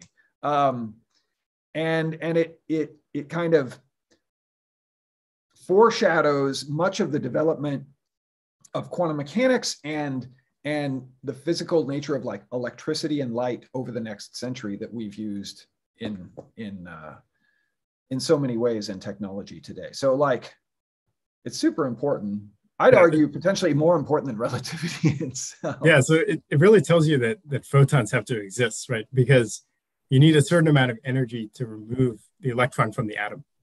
And so what Einstein, well, actually what you know experimentalists realized, uh, discovered before Einstein, what Einstein explained was that actually if the ener- if the light is not uh, high frequency enough, so if it doesn't have enough energy, um, it doesn't matter how much light you pour onto the atoms, the electrons won't come off. So the current will not flow if the energy of the light is too low. So if the wavelength is too high or the frequency is too low. And then as soon as you add enough uh, you, energy to the individual photons, then the electrons start coming off. And so that tells you that actually the, these atoms are seeing individual photons. They're not seeing light as a wave, they're seeing particles of light that have a particular amount of energy. And so they care about the, the individual energy of each photon not the total energy of the light falling onto the atom. Exactly. So it's the whole, people have probably heard the term wave particle duality of light or wave particle duality of, of matter for that matter. And, uh, and this was one of those kind of proving, proving grounds and experiments that really showcased it. So yeah, excellent. relativity, like the reason why he wasn't awarded it, so they said, was because there wasn't really experimental confirmation at the time. So it was really you know, the theory was very interesting, but you know, we, we didn't discover gravitational waves directly until 2015, and that's a consequence of, of, of relativity. So um, they there really wasn't great. You know, Nobel Prize doesn't like giving awards to really speculative theories, um, but this really was an explanation of an effect that was immediately verified. That's a great point. But anyway, happy birthday, Albert. And thank you for all of your contributions to uh, science over the last, you know, 120, 120 years or so. Okay, next question is, which of these astronomical sources has not been seen to exhibit regular, periodic, meaning repeated uh, emission? So this is related to some of the, the stuff we were just hearing from Max's presentation. So our four options are the sun, the cosmic microwave background, um, stars, RR Lyrae stars, and what was the what was the fourth one? Now it disappeared. Radio bursts. Oh, in the universe. Okay. Fast, fast radio bursts. Oh, fast radio bursts. Yeah, yeah, the universe. I was like, the universe. That's pretty broad. That's a pretty broad response. um, fast radio bursts. That's right. Okay. Okay one over, overwhelming uh, winner here so far, but we'll see. We'll see. So just as we're waiting for all the answers to come in, everyone's familiar with the idea of the sun. The cosmic microwave background is the light that's kind of the light echo uh, from the Big Bang, effectively, the expansion, the early expansion of the universe. RR Lyrae stars are these repeating, uh, well, I guess that's. Uh, oh, well, spoil it, Cameron. I'm spoiling it. I'm sorry, person green that has one vote for RR Lyrae stars uh, variable stars, much like um, what what Max was talking about, and then fast radio. Uh, nice, two two for RR Larry, and then uh, fast radio bursts are these bursts of uh, radio waves that are coming at us from dis distant sources that last somewhere on the order of less than a second. Okay, I think the, the conclusion is clear. People seem confident that it is in fact the cosmic microwave background, and the answer is indeed the cosmic microwave background. Everyone pat themselves on the back, but I still love you guys who voted for RR Lyrae stars. Thank you for that. Thank you for that. Uh, Max, do you want to talk about this at all? Yeah, I guess so. So the I go one by one. So the sun um, has several periods of, of, variability. So first off, there's an 11 year cycle in the sun um, of activity and, and, passivity. So that's when the star spots appear and when they stop appearing. Um, actually, the sun gets brighter and dimmer by about 0.1%, I think, uh, over this time. And there's also shorter term uh, variations in the sun of, of order of days, um, just kind of vibrations of the sun, basically, that that you can measure with like really acoustic precise pulses or something like yeah, that. Yeah, yeah. So it's kind of the gas is, is expanding and, and collapsing. Uh, yeah, the cosmic microwave background, as far as we know, is not variable. Um, in fact, it's really static. It just kind of sits there. Uh, RR Lyrae stars are a lot like Cepheids. They're variable stars that um, go up and down in brightness, um, and they're actually a lot more common than Cepheids. So they're really useful. Again, they have a another period brightness relationship, which makes them really useful for measuring distances. Um, and then fast radio bursts are these uh, bright bursts of radio, which are very mysterious. We don't really know where they come from. Um, but in the past few years, there's been discoveries of repeating fast radio bursts. Um, some of them are repeating within over like many months. Other ones within like a couple hours, you see these repeated uh, radio signals. So there's some sort of uh, re- repeating is really interesting because it means that whatever is creating this signal is not getting destroyed when it's created. So it's actually some sort of object that remains and is able to produce a signal again. Exactly. Yeah, not all FRBs seem to be repeaters, but there definitely is some subset that, of fast radio bursts that repeat. Yeah. Cool. Thank you. That was great. Great explanation. What mission is offering to send your name, audience member, you, your name around the moon later this year? And I will provide a link so your name can travel around the moon if you want to. Whoa, that's a big Artemis right there. Any other any other guesses? Caltech admissions. oh, if only they were so gracious. If only, if only. Artemis, alternate spelling, good. Clean coal. Hmm. I don't know. Is there any coal on the moon? I mean, there must be. Geochemist. What do you think? Uh, coal? Uh, would not. There's. I don't think the moon you can get to pressures and temperatures required, and you would need a significant amount of organic matter. Even yeah. carbonaceous chondrites wouldn't be sufficient. Oh, okay. Well, there, there's oh, damn, I speculate and you solve my speculations. I like this. We, we're, we're quite a team. Ooh, so speculate. like, like uh, what is, isn't that what people who, who look for gold and stuff, like, you're, aren't you? No, I guess those are prospectors. Never mind. Oh, pro- I, I like to prospect as well. I like Death Valley, going out there and checking out for prospecting for things. Um, oh, some good answers here. Bugs Bunny. Marvin the Martian. Oh, it's yeah. I guess it's not Marvin, the Moonian, the lunar, the yeah, the lunatic. Um, so indeed, the answer is in fact Artemis. Uh, just as a reminder, the NASA NASA Artemis program is kind of the successor to the Apollo mission program from 40, 40 odd years ago, uh, 50 odd years ago. And and yeah, in in about two months, the plan is to launch Artemis 1, which is a spacecraft to go back to the moon. It will not land on the moon, but it will orbit. It'll, it'll be a translunar orbit. So it'll go behind and orbit behind. Wait, this is the Earth. I, I don't know what I'm doing. It'll, it'll orbit behind the moon and then come back. Just as kind of like, do we still know how to do this, guys? We did this a while ago. Let's make sure we're, we're on the on the right target. And then Artemis 2, which I think I forget the exact timeline, and this doesn't have it, but um, it's either next year or may, I think it's next year. Artemis 2 is meant to have humans aboard, but again, it'll orbit around it. It won't necessarily land. And then Artemis 3 will, that's the one over here, will be a crewed mission to land on the surface, which is super exciting. And that's meant to happen in the next few years.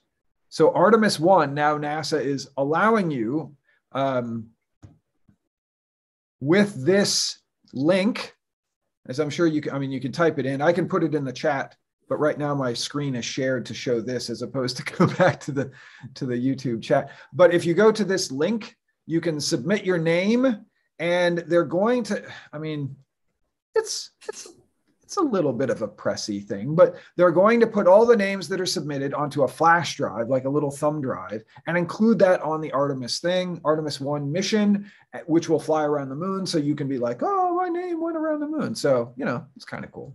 It's kind of cool. Um, anyway, so get your boarding pass now. All right. Ooh, this is a spicy one. The head of the Russian space agency, Roscosmos, has made some very provocative statements in the last two weeks re- uh, regarding continued collaboration with Western partners like NASA, European Space Agency, and so on and so forth. What is his name? Um, Vladimir Putin. Ming the Merciless. Indeed. Yeah. So I just want to go on the books and say I'm super bummed out about uh, the the Russian aggression in Ukraine and um, the implications that it's having, first and foremost, for the Ukrainian people. Like, geez.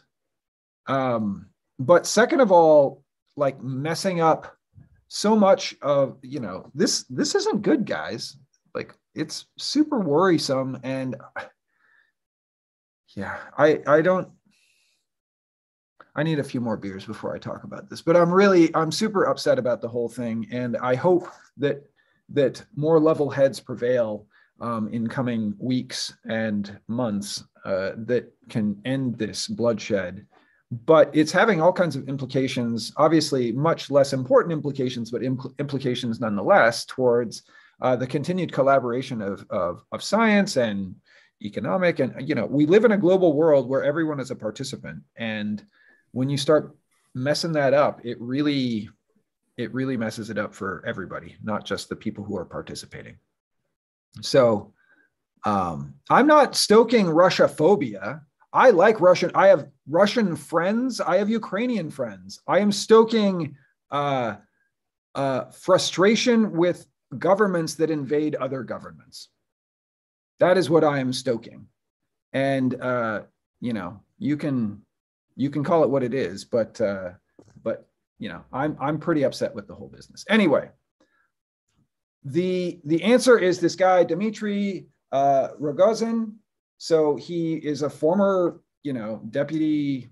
Uh, let's see, deputy director of the government in in Russia, um, and is now in charge of Roscosmos.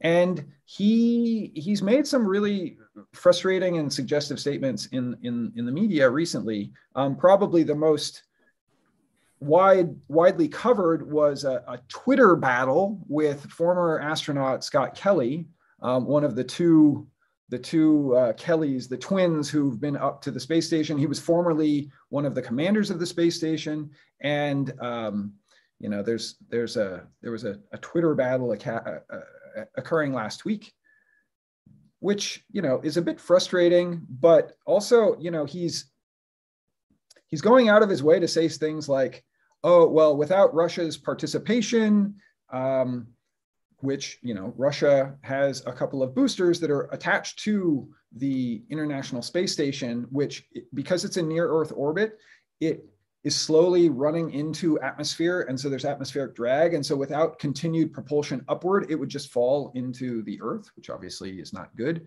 Um, so he's basically made statements publicly like, you know, without us, you know, we could just leave we could we could stop boosting it and, and the ISS would drop onto the Earth, which is not obviously good. Um, but fortunately, so far, um, communications and, and, and cooperation aboard the ISS is continuing to be okay from the astronauts and cosmonauts who are there. There are four American astronauts, two cosmonauts from Russia, and one German. um, astronaut aboard the ISS, and they're continuing to be like operating great. And honestly, that's you know that's how it should be. Uh, hopefully, science can step above some of the problems of the political governments that are doing you know problematic things and and continue this collaboration. I don't know um amy does do you are you involved in any uh stuff with um well collaborations with russian russian scientists at all? I am not but um i know that so in the venus realm right you guys might have seen on the slide that i flashed up that was all like pixelated. Venera d is a mission that russia's been working on for a while. Uh-huh. And that was a, an international collaboration. So there were I, I work with people who who were contributing to that those conversations. It's not even I wouldn't say it's far enough along to to be I, I don't know the status of the mission itself, but I do work with people who were going to meetings and talking about that. And we were told, we were informed that there will be no no NASA participation, no American participation in Venera D. More um, disheartening is the fact that ExoMars, right, the Rosalind Franklin rover that ESA, the European Space Agency, is sending to Mars, has now been delayed again, this time indefinitely. Um, this would be ESA's first lander rover on Mars. This was, you know, not a precursor to Mars sample return, but but their first test of the waters, yeah. if you don't mind the, the pun, uh, to, to look for organic molecules, thing, things of that nature, test out their rover technology in advance of, of Mars sample return. And because they, that is a direct partnership with Roscosmos, not just in terms of launching out of Kazakhstan, but actually a much more intimate relationship due to the sanctions that the European Union has put on, on Russia um, in response to this, this uh, horrible situation. It's unknown when or if yeah that will that will happen. And they've already been delayed right because of the pandemic. So part of me is like ah if only it could have been gone and we would have been fine. But that that's the scientific impact but it's nothing you know compared to oh i don't know uh, the iss crashing into yeah i mean the iss isn't uh, meant to be retired for another 10 years or so and it's but, but you you make it i'm so glad to hear that you know the astronauts and the cosmonauts are, are doing well because i don't know i think i have the naive i'm a trekkie at heart and i have the naive dream that space and space exploration will unite humanity in some way and I think it has the promise to, but I don't really want to get to like first contact a la Zefram Cochrane. And the reason that we meet the Vulcans is because there's a nuclear war that's destroyed most things. Agreed.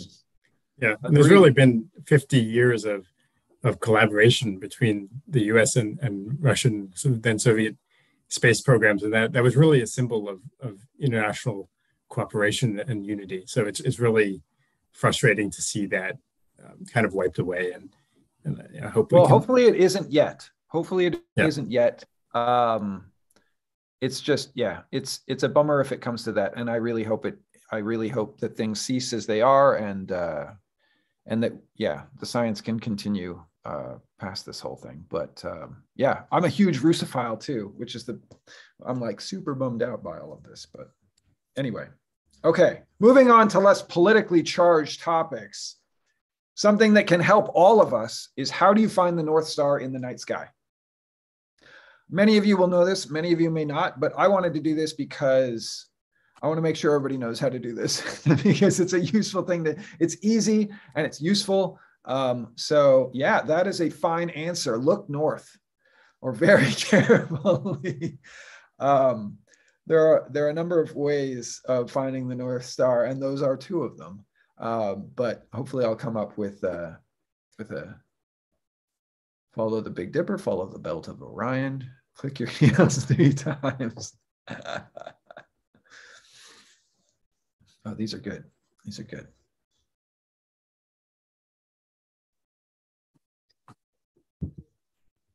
Hmm. I do like to twirl. Usually it gets me there most of the times. The Hipparchus method. Hmm. I don't know. Do you guys know that? I don't know the Hipparchus method. Do you know, Amy?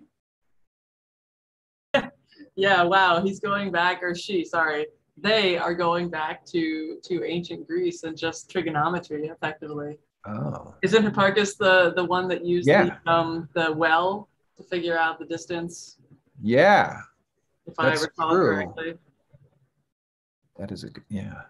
I don't know. Maybe I've got it the must wrong. have been. That person has either a better better knowledge of it than me or has their their Wikipedia open right now. Was it- yeah, that was. I think it was Eratosthenes who. Ah, you're right. Got the wrong. Got the wrong. So that was that was getting the size of the Earth by Right, you're right. figuring you're right. out where the the solar, you know, the sun was was directly upwards Directly and where it was it, slanted, yeah. and then Yes, you can you're use that to, to figure out the size of the Earth.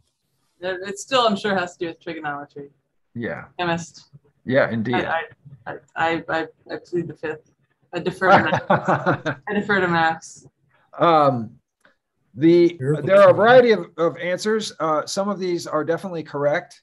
The oh, I like the Pointer Sisters. That's a they've got that neutron dance from the 80s. That was a good song. Anyway, um, the the answer that I was going to suggest, so everyone knows, because it's usually pretty often times that if you're in the northern hemisphere, you can see you can see and recognize the Big Dipper in the sky.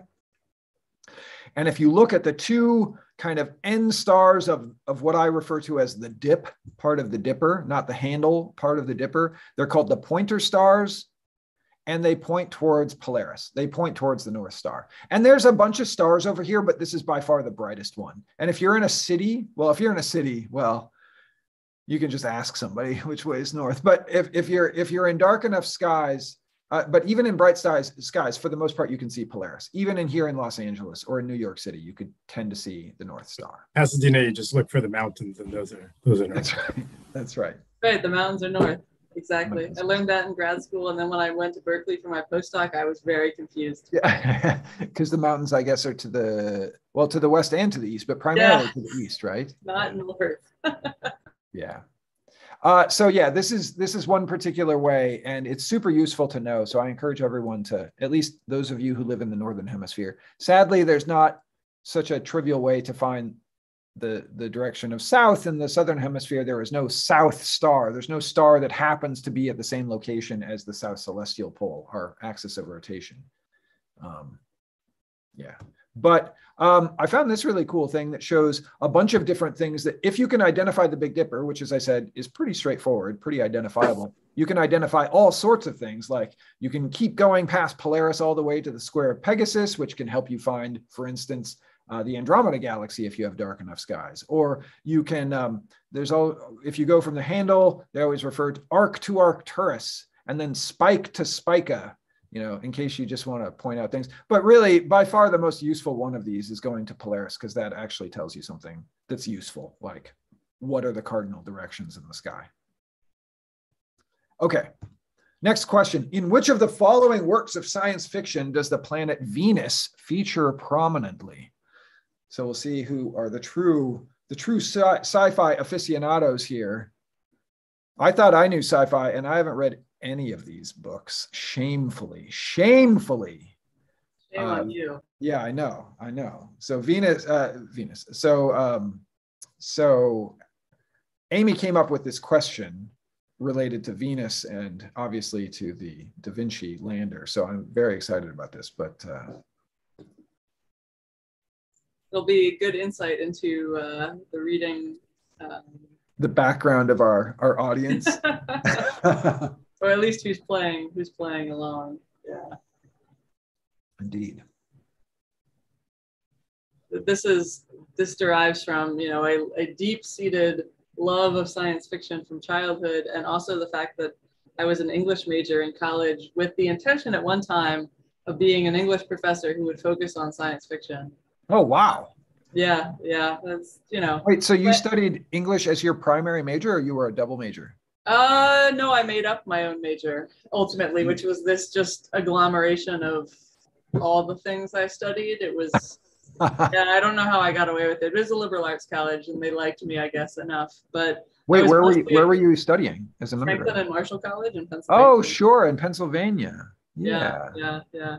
No, it was it was pretty great. Um, I feel really fortunate that I was able to just like pursue an intellectual path, right? But yeah, yeah. Then you know, somehow ending up at Caltech for grad school, I, I took a year off and did a lot of extra coursework while I was working to, you know, get to some place where I could apply to grad school. But yeah, Caltech was a fire hose, but I loved it. Now you're inspiring science fiction writers. So Yeah, that's right. Good. Love it. Yeah. Okay, so the answer indeed is it's a All trick question. Yeah. it is a trick question. Oh, curse you, Amy. What are you doing? Yeah, no, it's absolutely true. Uh, and and I imagine that a lot of people don't know all of these authors. Although I'm surprised that Caliban's War didn't get uh, more more votes. So um, the long range. So why are there dinosaurs in a in a swamp, right? So long before we had observational information about Venus, uh, people hypothesized that it was this water world. Either it was like a panthalasia, right, like an ocean world, uh, or it was like the early Earth or some variant of it. So here, you know, we're, we're looking at sort of a, a, a Jurassic, Triassic, Cretaceous kind of period, uh, full of swamps and lush jungles. Um, and and it, it was for whatever and of course beautiful people. There were always beautiful humanoid people-ish things inhabiting inhabiting venus. Uh, it took a while uh, but even pre-mariner which was one of the one of our early um, spacecraft to explore venus i guess spectroscopic information sort of suggested hmm, maybe it's not so earth-like after all and maybe it's more desert-like and that led to science fiction involved in terraforming right? You think about terraforming mars all like that is pretty common now but venus was a thing. So bradbury this is a water-rich short story. You can find it in the illustrated man if you happen to have that collection. He's got another uh, short story that i didn't put in because i don't remember what collection that's in but there's like a pretty well of course i can't remember it now. I was to say a memorable quote. I blame the scotch uh, Arthur C. Clarke, right? Of course, also here's another watery world, but this one deals with someone had asked a question about microbes, right, and planetary protection, and what happens if we contaminate a planet, and basically just like, oh, I don't know, smallpox killing, you know, Native Americans, thanks Spanish and, and other uh, conquerors of South America, that sort of thing happens in, I think it's in Before Eden. Um, Perelandra is, if you're familiar with C.S. Lewis, right, people think The Lion, the Witch, and the Wardrobe C.S. Lewis wrote this trilogy of science fiction stories um, that do have sort of a, mm, I wouldn't say spiritual, kind of a religious style, right? Angel-y type things, demon-y type things, um, and of course a protagonist who ends up going to Mars in the first book and going to Venus to try to beat out these uh, uh, evil folks, and, and there are beautiful people on Venus, of course, that he has to save so that's the second in a trilogy of stories that I didn't even know existed until uh, oh I've had too much scotch. An ex uh, suggested that I read it, not an ex at the time, but anyway. Um, sorry, TMI. Anyway, Caliban's War. Come on, people. The Expanse, right? If you read the whole series, Caliban's War is the second in the Expanse series. The protomolecule sits in Venus and does its thing, and then boom, blasts off. I mean, watch the show. It's great, but read the books.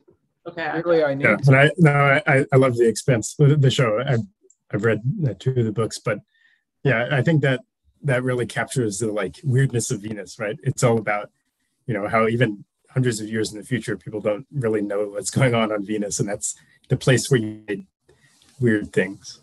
Exactly. Thank you, Max. That is a great advertisement for Venus and future exploration. But you're Oh, and- absolutely right. And just to follow up, uh, there had been questions before about where to get the T-shirt that Amy's wearing, and I posted it in the in the in the various chats, so um, you can go there. No proceeds go here. No proceeds get go anywhere, right? Because it's just one of the Venus team members did this like Right. at, at cost. cost. So at cost, exactly. And there's all kinds of, you know, permutations on color and stuff and style. So knock yourselves Yeah. out, get those Venus shirts for the decade uh, return to Venus. Sweet. Okay, I will go back to the last few questions. What comedian will go get to go to space asterisk in two weeks aboard a blue uh, Blue Origin flight? Prominent comedian. So everybody's familiar with Blue Origin. It's Jeff Bezos's version of private commercial space flight. Um, the reason I say space is it's not really, I mean, it's well, depending on your definition of space, is it space, but it's a suborbital flight as opposed to some sort of like, he's not going to send you to, to, uh, to Mars or to Jupiter or Venus for that matter, but um, they're different different definitions for space. Ugh. Oh man. Sorry, person. I didn't realize I was asking a horrible question. It's just trying to do something interesting for some people. Jim Carrey, Steve Colbert, Elon Musk, someone from SNL, Pete Davidson. Bye Don. Anyway, well, the answer is indeed Pete Davidson, this dude. Um, yeah, there's like a crew of six people who get to go up. Most of the crew are paying a lot of money to go up, but he gets to go up free. I guess it's Jeff Bezos's way of making sure he stays in the news. I guess it worked with me um, by by making sure that some popular person gets to go up, so it'll be in the news.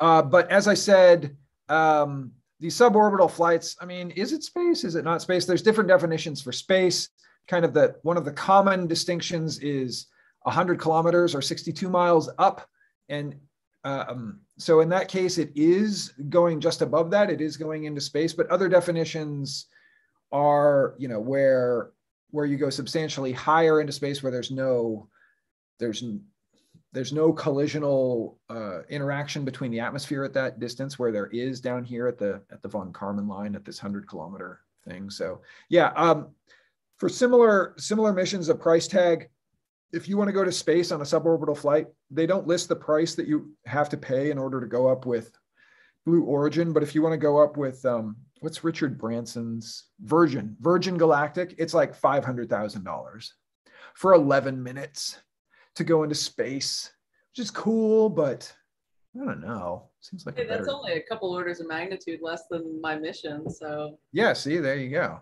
Just just put out a little bit more and you get to go to Venus. But, yeah, I'm not sure I would pay to go to Venus. Indeed. All right. What is the only moon in our solar system believed to have formerly been a dwarf planet? Ooh, solar system people. What do you think? Titan. Okay. Earth. Interesting. Is Earth a moon? Hmm. Triton. Okay. Triton, Titan. Hmm. Io. Everybody's favorite moon. Well, I guess everybody's favorite moon is probably our moon, maybe. Pretty nice up there. I want to go. Hmm. Good guesses. Good guesses. So just for reference to everyone, um, Io is one of the moons around Jupiter, one of the Galilean moons around Jupiter, known for its active volcanoes.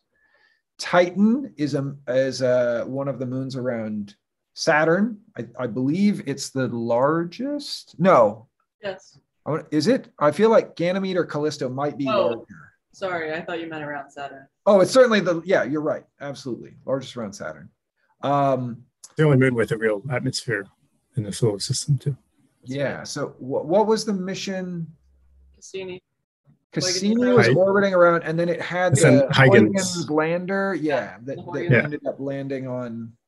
That was a um, lot of inspiration for our probe, by the way. Oh, was it? Because it was having to deal with atmospheric processes and such. And boom. And boom and high pressures too, right? Or no? No, the pressure on uh, Titan is comparable to that of Earth. You could, you'd be oh. fine, and it's nitrogen mostly. You, I mean, it's cold. Yeah, dude. Fine is maybe an exaggeration.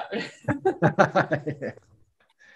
um, Charon is the primary moon to Pluto, um, and I guess Triton is around Neptune. Okay, so it looks like Charon and Triton are the big winners here. And the answer is indeed Triton. Uh, so Triton has a composition that's really similar to Pluto and some of the other Kuiper Belt objects in the outer solar system. And it's also in this weird orbit around Neptune. Um, Amy or Max, do you want do you guys want to talk about it or I don't want to hog the spotlight here. About Triton? Yeah. Sure. Max, unless you want to you want to go ahead. Okay, cool. Yeah, so Triton is um, is a very interesting place. So when so Da Vinci, right, the mission that I'm that I'm on, and Veritas, the other Venus mission that were selected, we were competing against uh, an Io volcano observatory mission called IVO, and a mission called Trident, which would have been a flyby of Triton, this this moon of, of Neptune. And the really interesting thing about Trident, or one of the many interesting things, is that when I believe it was Voyager passed by it, it happened to catch these geysers, these eruptions, basically of some dark blackish material coming out of. Uh, hope you can't hear that. Out of the out of the moon, um, and so you know that's one very tantalizing bit of what's going on in the subsurface.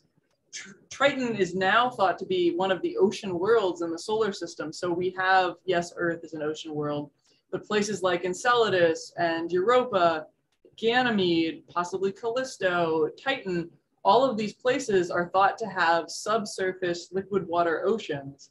Now, where they are in the sort of, if you cut the planet or the moon in half, you know, where they fall with respect to different layers varies, but Triton is one of these places that could be an ocean world. And NASA is very excited about ocean worlds because the whole idea of, oh, you have to be close ish to the sun to be in the quote unquote habitable zone for life to have arisen completely got tossed on its head when Galileo's magnetometers suggested that, you know, there is an ocean, a subsurface ocean on Europa. Uh, and so Triton is yet another place. And it's like, you have an ocean world and you have an ocean world and you have an ocean world, right? They're all over the place, it turns out, which is fascinating in the whole context of habitability and origins of life and possibilities for even just prebiotic chemistry. So anyway, okay, I'm waxing. I'm being um, pontific. No, that was great. That was awesome. Awesome. Unfortunately, it wasn't selected uh, this time around. It's a little difficult to get there just based on orbital dynamics, um, but we'll see. Yeah, maybe maybe in the next the coming decades.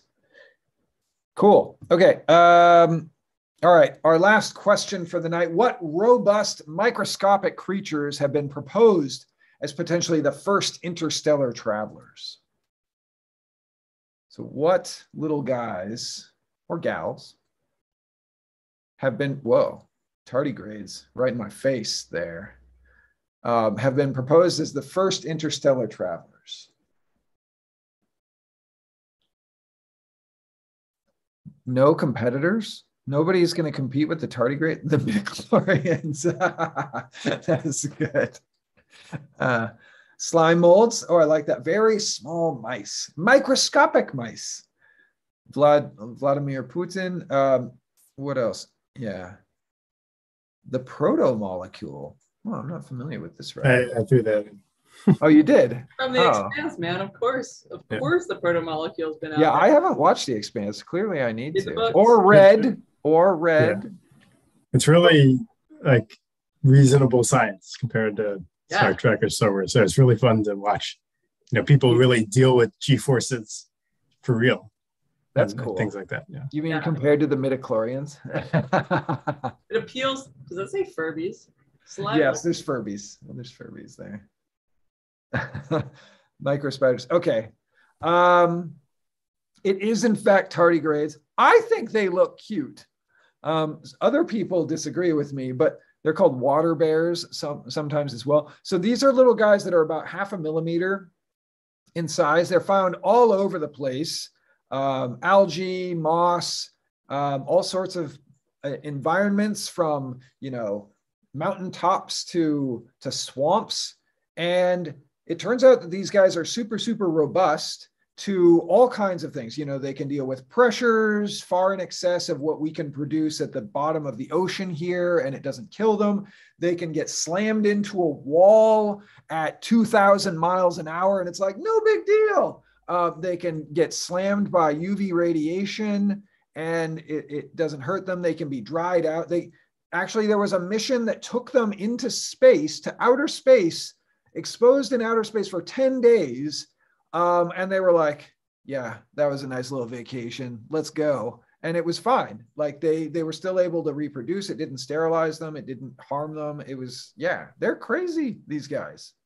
So two things about tardigrades. One was the um, I think it was ISRO. Now I can't recall. That's the Indian Space Agency. No, yes, maybe it was. I don't know. One of the lunar missions um, that was supposed to land and it smashed into the moon. It had tardigrades in it, so now they're splattered all over the moon. Oh, so there so, are tardigrades on. So the there are tardigrades on the moon now. Oh, um, no.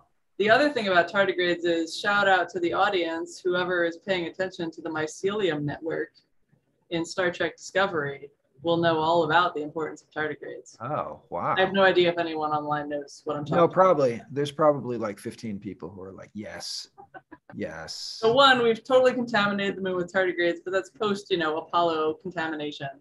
Uh, so, heh, what does it matter? Uh, but also, yes, I can't even do it right now. Live long and prosper. yeah, well, it's fine. Yes. Do we think that there is um, substantial? Nice, nice, you got it. Do you think there's substantial contamination from the Apollo missions on the moon? Because I know more more recent missions have. I mean, you you you know better than me probably that there are there's like an office that's like we need to sterilize every surface of this mission that's going to go to some right. sort of foreign body. But did they not do that in the Apollo era? So right, so planetary protection was not really a thing early on. Um, in fact, right when the when some of the Apollo astronauts came back, the concern was more that they would be returning as vectors with Lord only knows moon moon contaminants, moonanites. They would be coming back with uh, with you know lunar bugs that would you know Andromeda strain the entire Earth. But um, and, and that was uh, gosh, what is it, Surveyor? one of the surveyor missions, I think, right? So uh, NASA sent a bunch of missions to the moon and it like explode, crash, woo, wrong trajectory, right? Never get there. and some piece of one of the surveyors was brought back. In fact, JPL has it uh, has a piece of it in our um, in our little museum that people can come and tour yeah, yeah. whenever someday JPL does its open house again. Um, and there was concern, right? There was a whole bunch of debate about are we, are the things that we're like sampling on this piece of material, is it astronaut contamination to the moon? Is it lunar weird contamination to Earth? You know, there was this hypothesis for a while that there was, you know, moon, there were moon microbes of some sort, Come you know, back coming and, back to Earth. But, yeah. but you know, I mean, we've got a bunch of stuff up there. The, the key is is that there the moon with no atmosphere, right, is completely bombarded with the solar wind, cosmic rays, any kind of galactic, you know, uh, anything of that nature ultimately is just it's being blasted, right? This is why we want to put astronauts in caves effectively on the moon. So yeah, we've left a bunch of crap up there. Um, but uh, I mean the tardigrades are probably fine. They're probably, probably fine. okay. They're, but, they're but setting up camp waiting for us. They're like, come on, boys, come on, ladies. Bring it on. Bring it on. Yeah. the astrophysics side, there's a, this concept of panspermia, which is that, you know, maybe life didn't form on the planet we see it on now. Maybe it formed on another planet around the same star and made its way to Earth, for example, uh, which is hard to do in the solar system because the planet's really far away. So it takes millions of years to do that. So the life would have to survive for, for that long. But um, there are exoplanet systems that are much more compact than the solar system. So the planets are a lot closer to each other and moving faster. And so that means that uh, actually things can hop between planets much more quickly. More effectively. And right. And, and that may make the difference for the DNA to survive, for example, in that, you know, interplanetary voyage. And so it's really reasonable. It's re- possible um, for, you know, a system like TRAPPIST-1 for, for life to start on one planet and then get knocked, you know, and, and land on another planet in the same system. Oh. Interesting. I know that there's a non, like the calculation has been done that an impact, uh, a large impactor on Earth, which would knock out a bunch of Earth materials, it is, the probability is not zero that we could have launched things that would land on Europa, for example. Um, it, it's, it's, from the ejecta, from the from impact. the ejecta, from the impact on Earth, right? And so the the notion that maybe you'd have an independent origin of life on one of these other icy worlds. Huh you know, you, you can't, this is right, you can't rule out the, the panspermia uh, type hypothesis in the sense that we found something, obviously there are a lot of sophisticated tests we can do now, but I, I didn't even think about the fact that, that the, you know, these exoplanetary systems like the TRAPPIST-1 system, which I was looking at earlier today, they are so close together that, yeah, it seems easy-ish to transfer things. Um, I just want to give a shout out to the person on YouTube who uh, dropped the "We're whalers on the moon. We carry a harpoon." We're tardigrades on the moon. We carry a harpoon. Very, very. Uh, props to you. Good job, Ned F. We're tardies on the moon. We carry our harpoon. Yeah. There ain't no tardies. There are tardies. There ain't no whales, so we tell tall tales and sing a whaling tune. Um, well, we have reached the end of our our, our time. Um, Dr. Hofmann, Proto Dr. Goldberg, thank you guys for joining and the excellent presentations on on on pretty interesting topics. I I certainly learned something from both of them. So I really appreciate you guys joining us. And thanks to our audience members for sticking around um, for all of all of these hijinks and the pub trivia and coming up with such uh, clever responses. It seems like for the most part, people were, were, were getting, getting a lot of the answers. So well done. Uh, our next event will be in a month, April, I don't know, sometime in April. Our next stargazing lecture will be April 8th, which will be, as I said, um, Professor Saul Teukolsky, who's um, he's been in the field for like 50 years does numerical relativity he's part of the ligo team does gravitational waves um, literally wrote the book on uh, numerical methods in physics that i used uh, 15 years ago in graduate school so um, promises to be an interesting uh, presentation on on general relativity and black holes and gravitational waves and so on and so forth. Should be really good. And then we'll have an astronomy on tap sometime later that month. But um, thanks everybody. And yeah, uh, stay safe. Talk to you soon. Okay. Thanks everyone.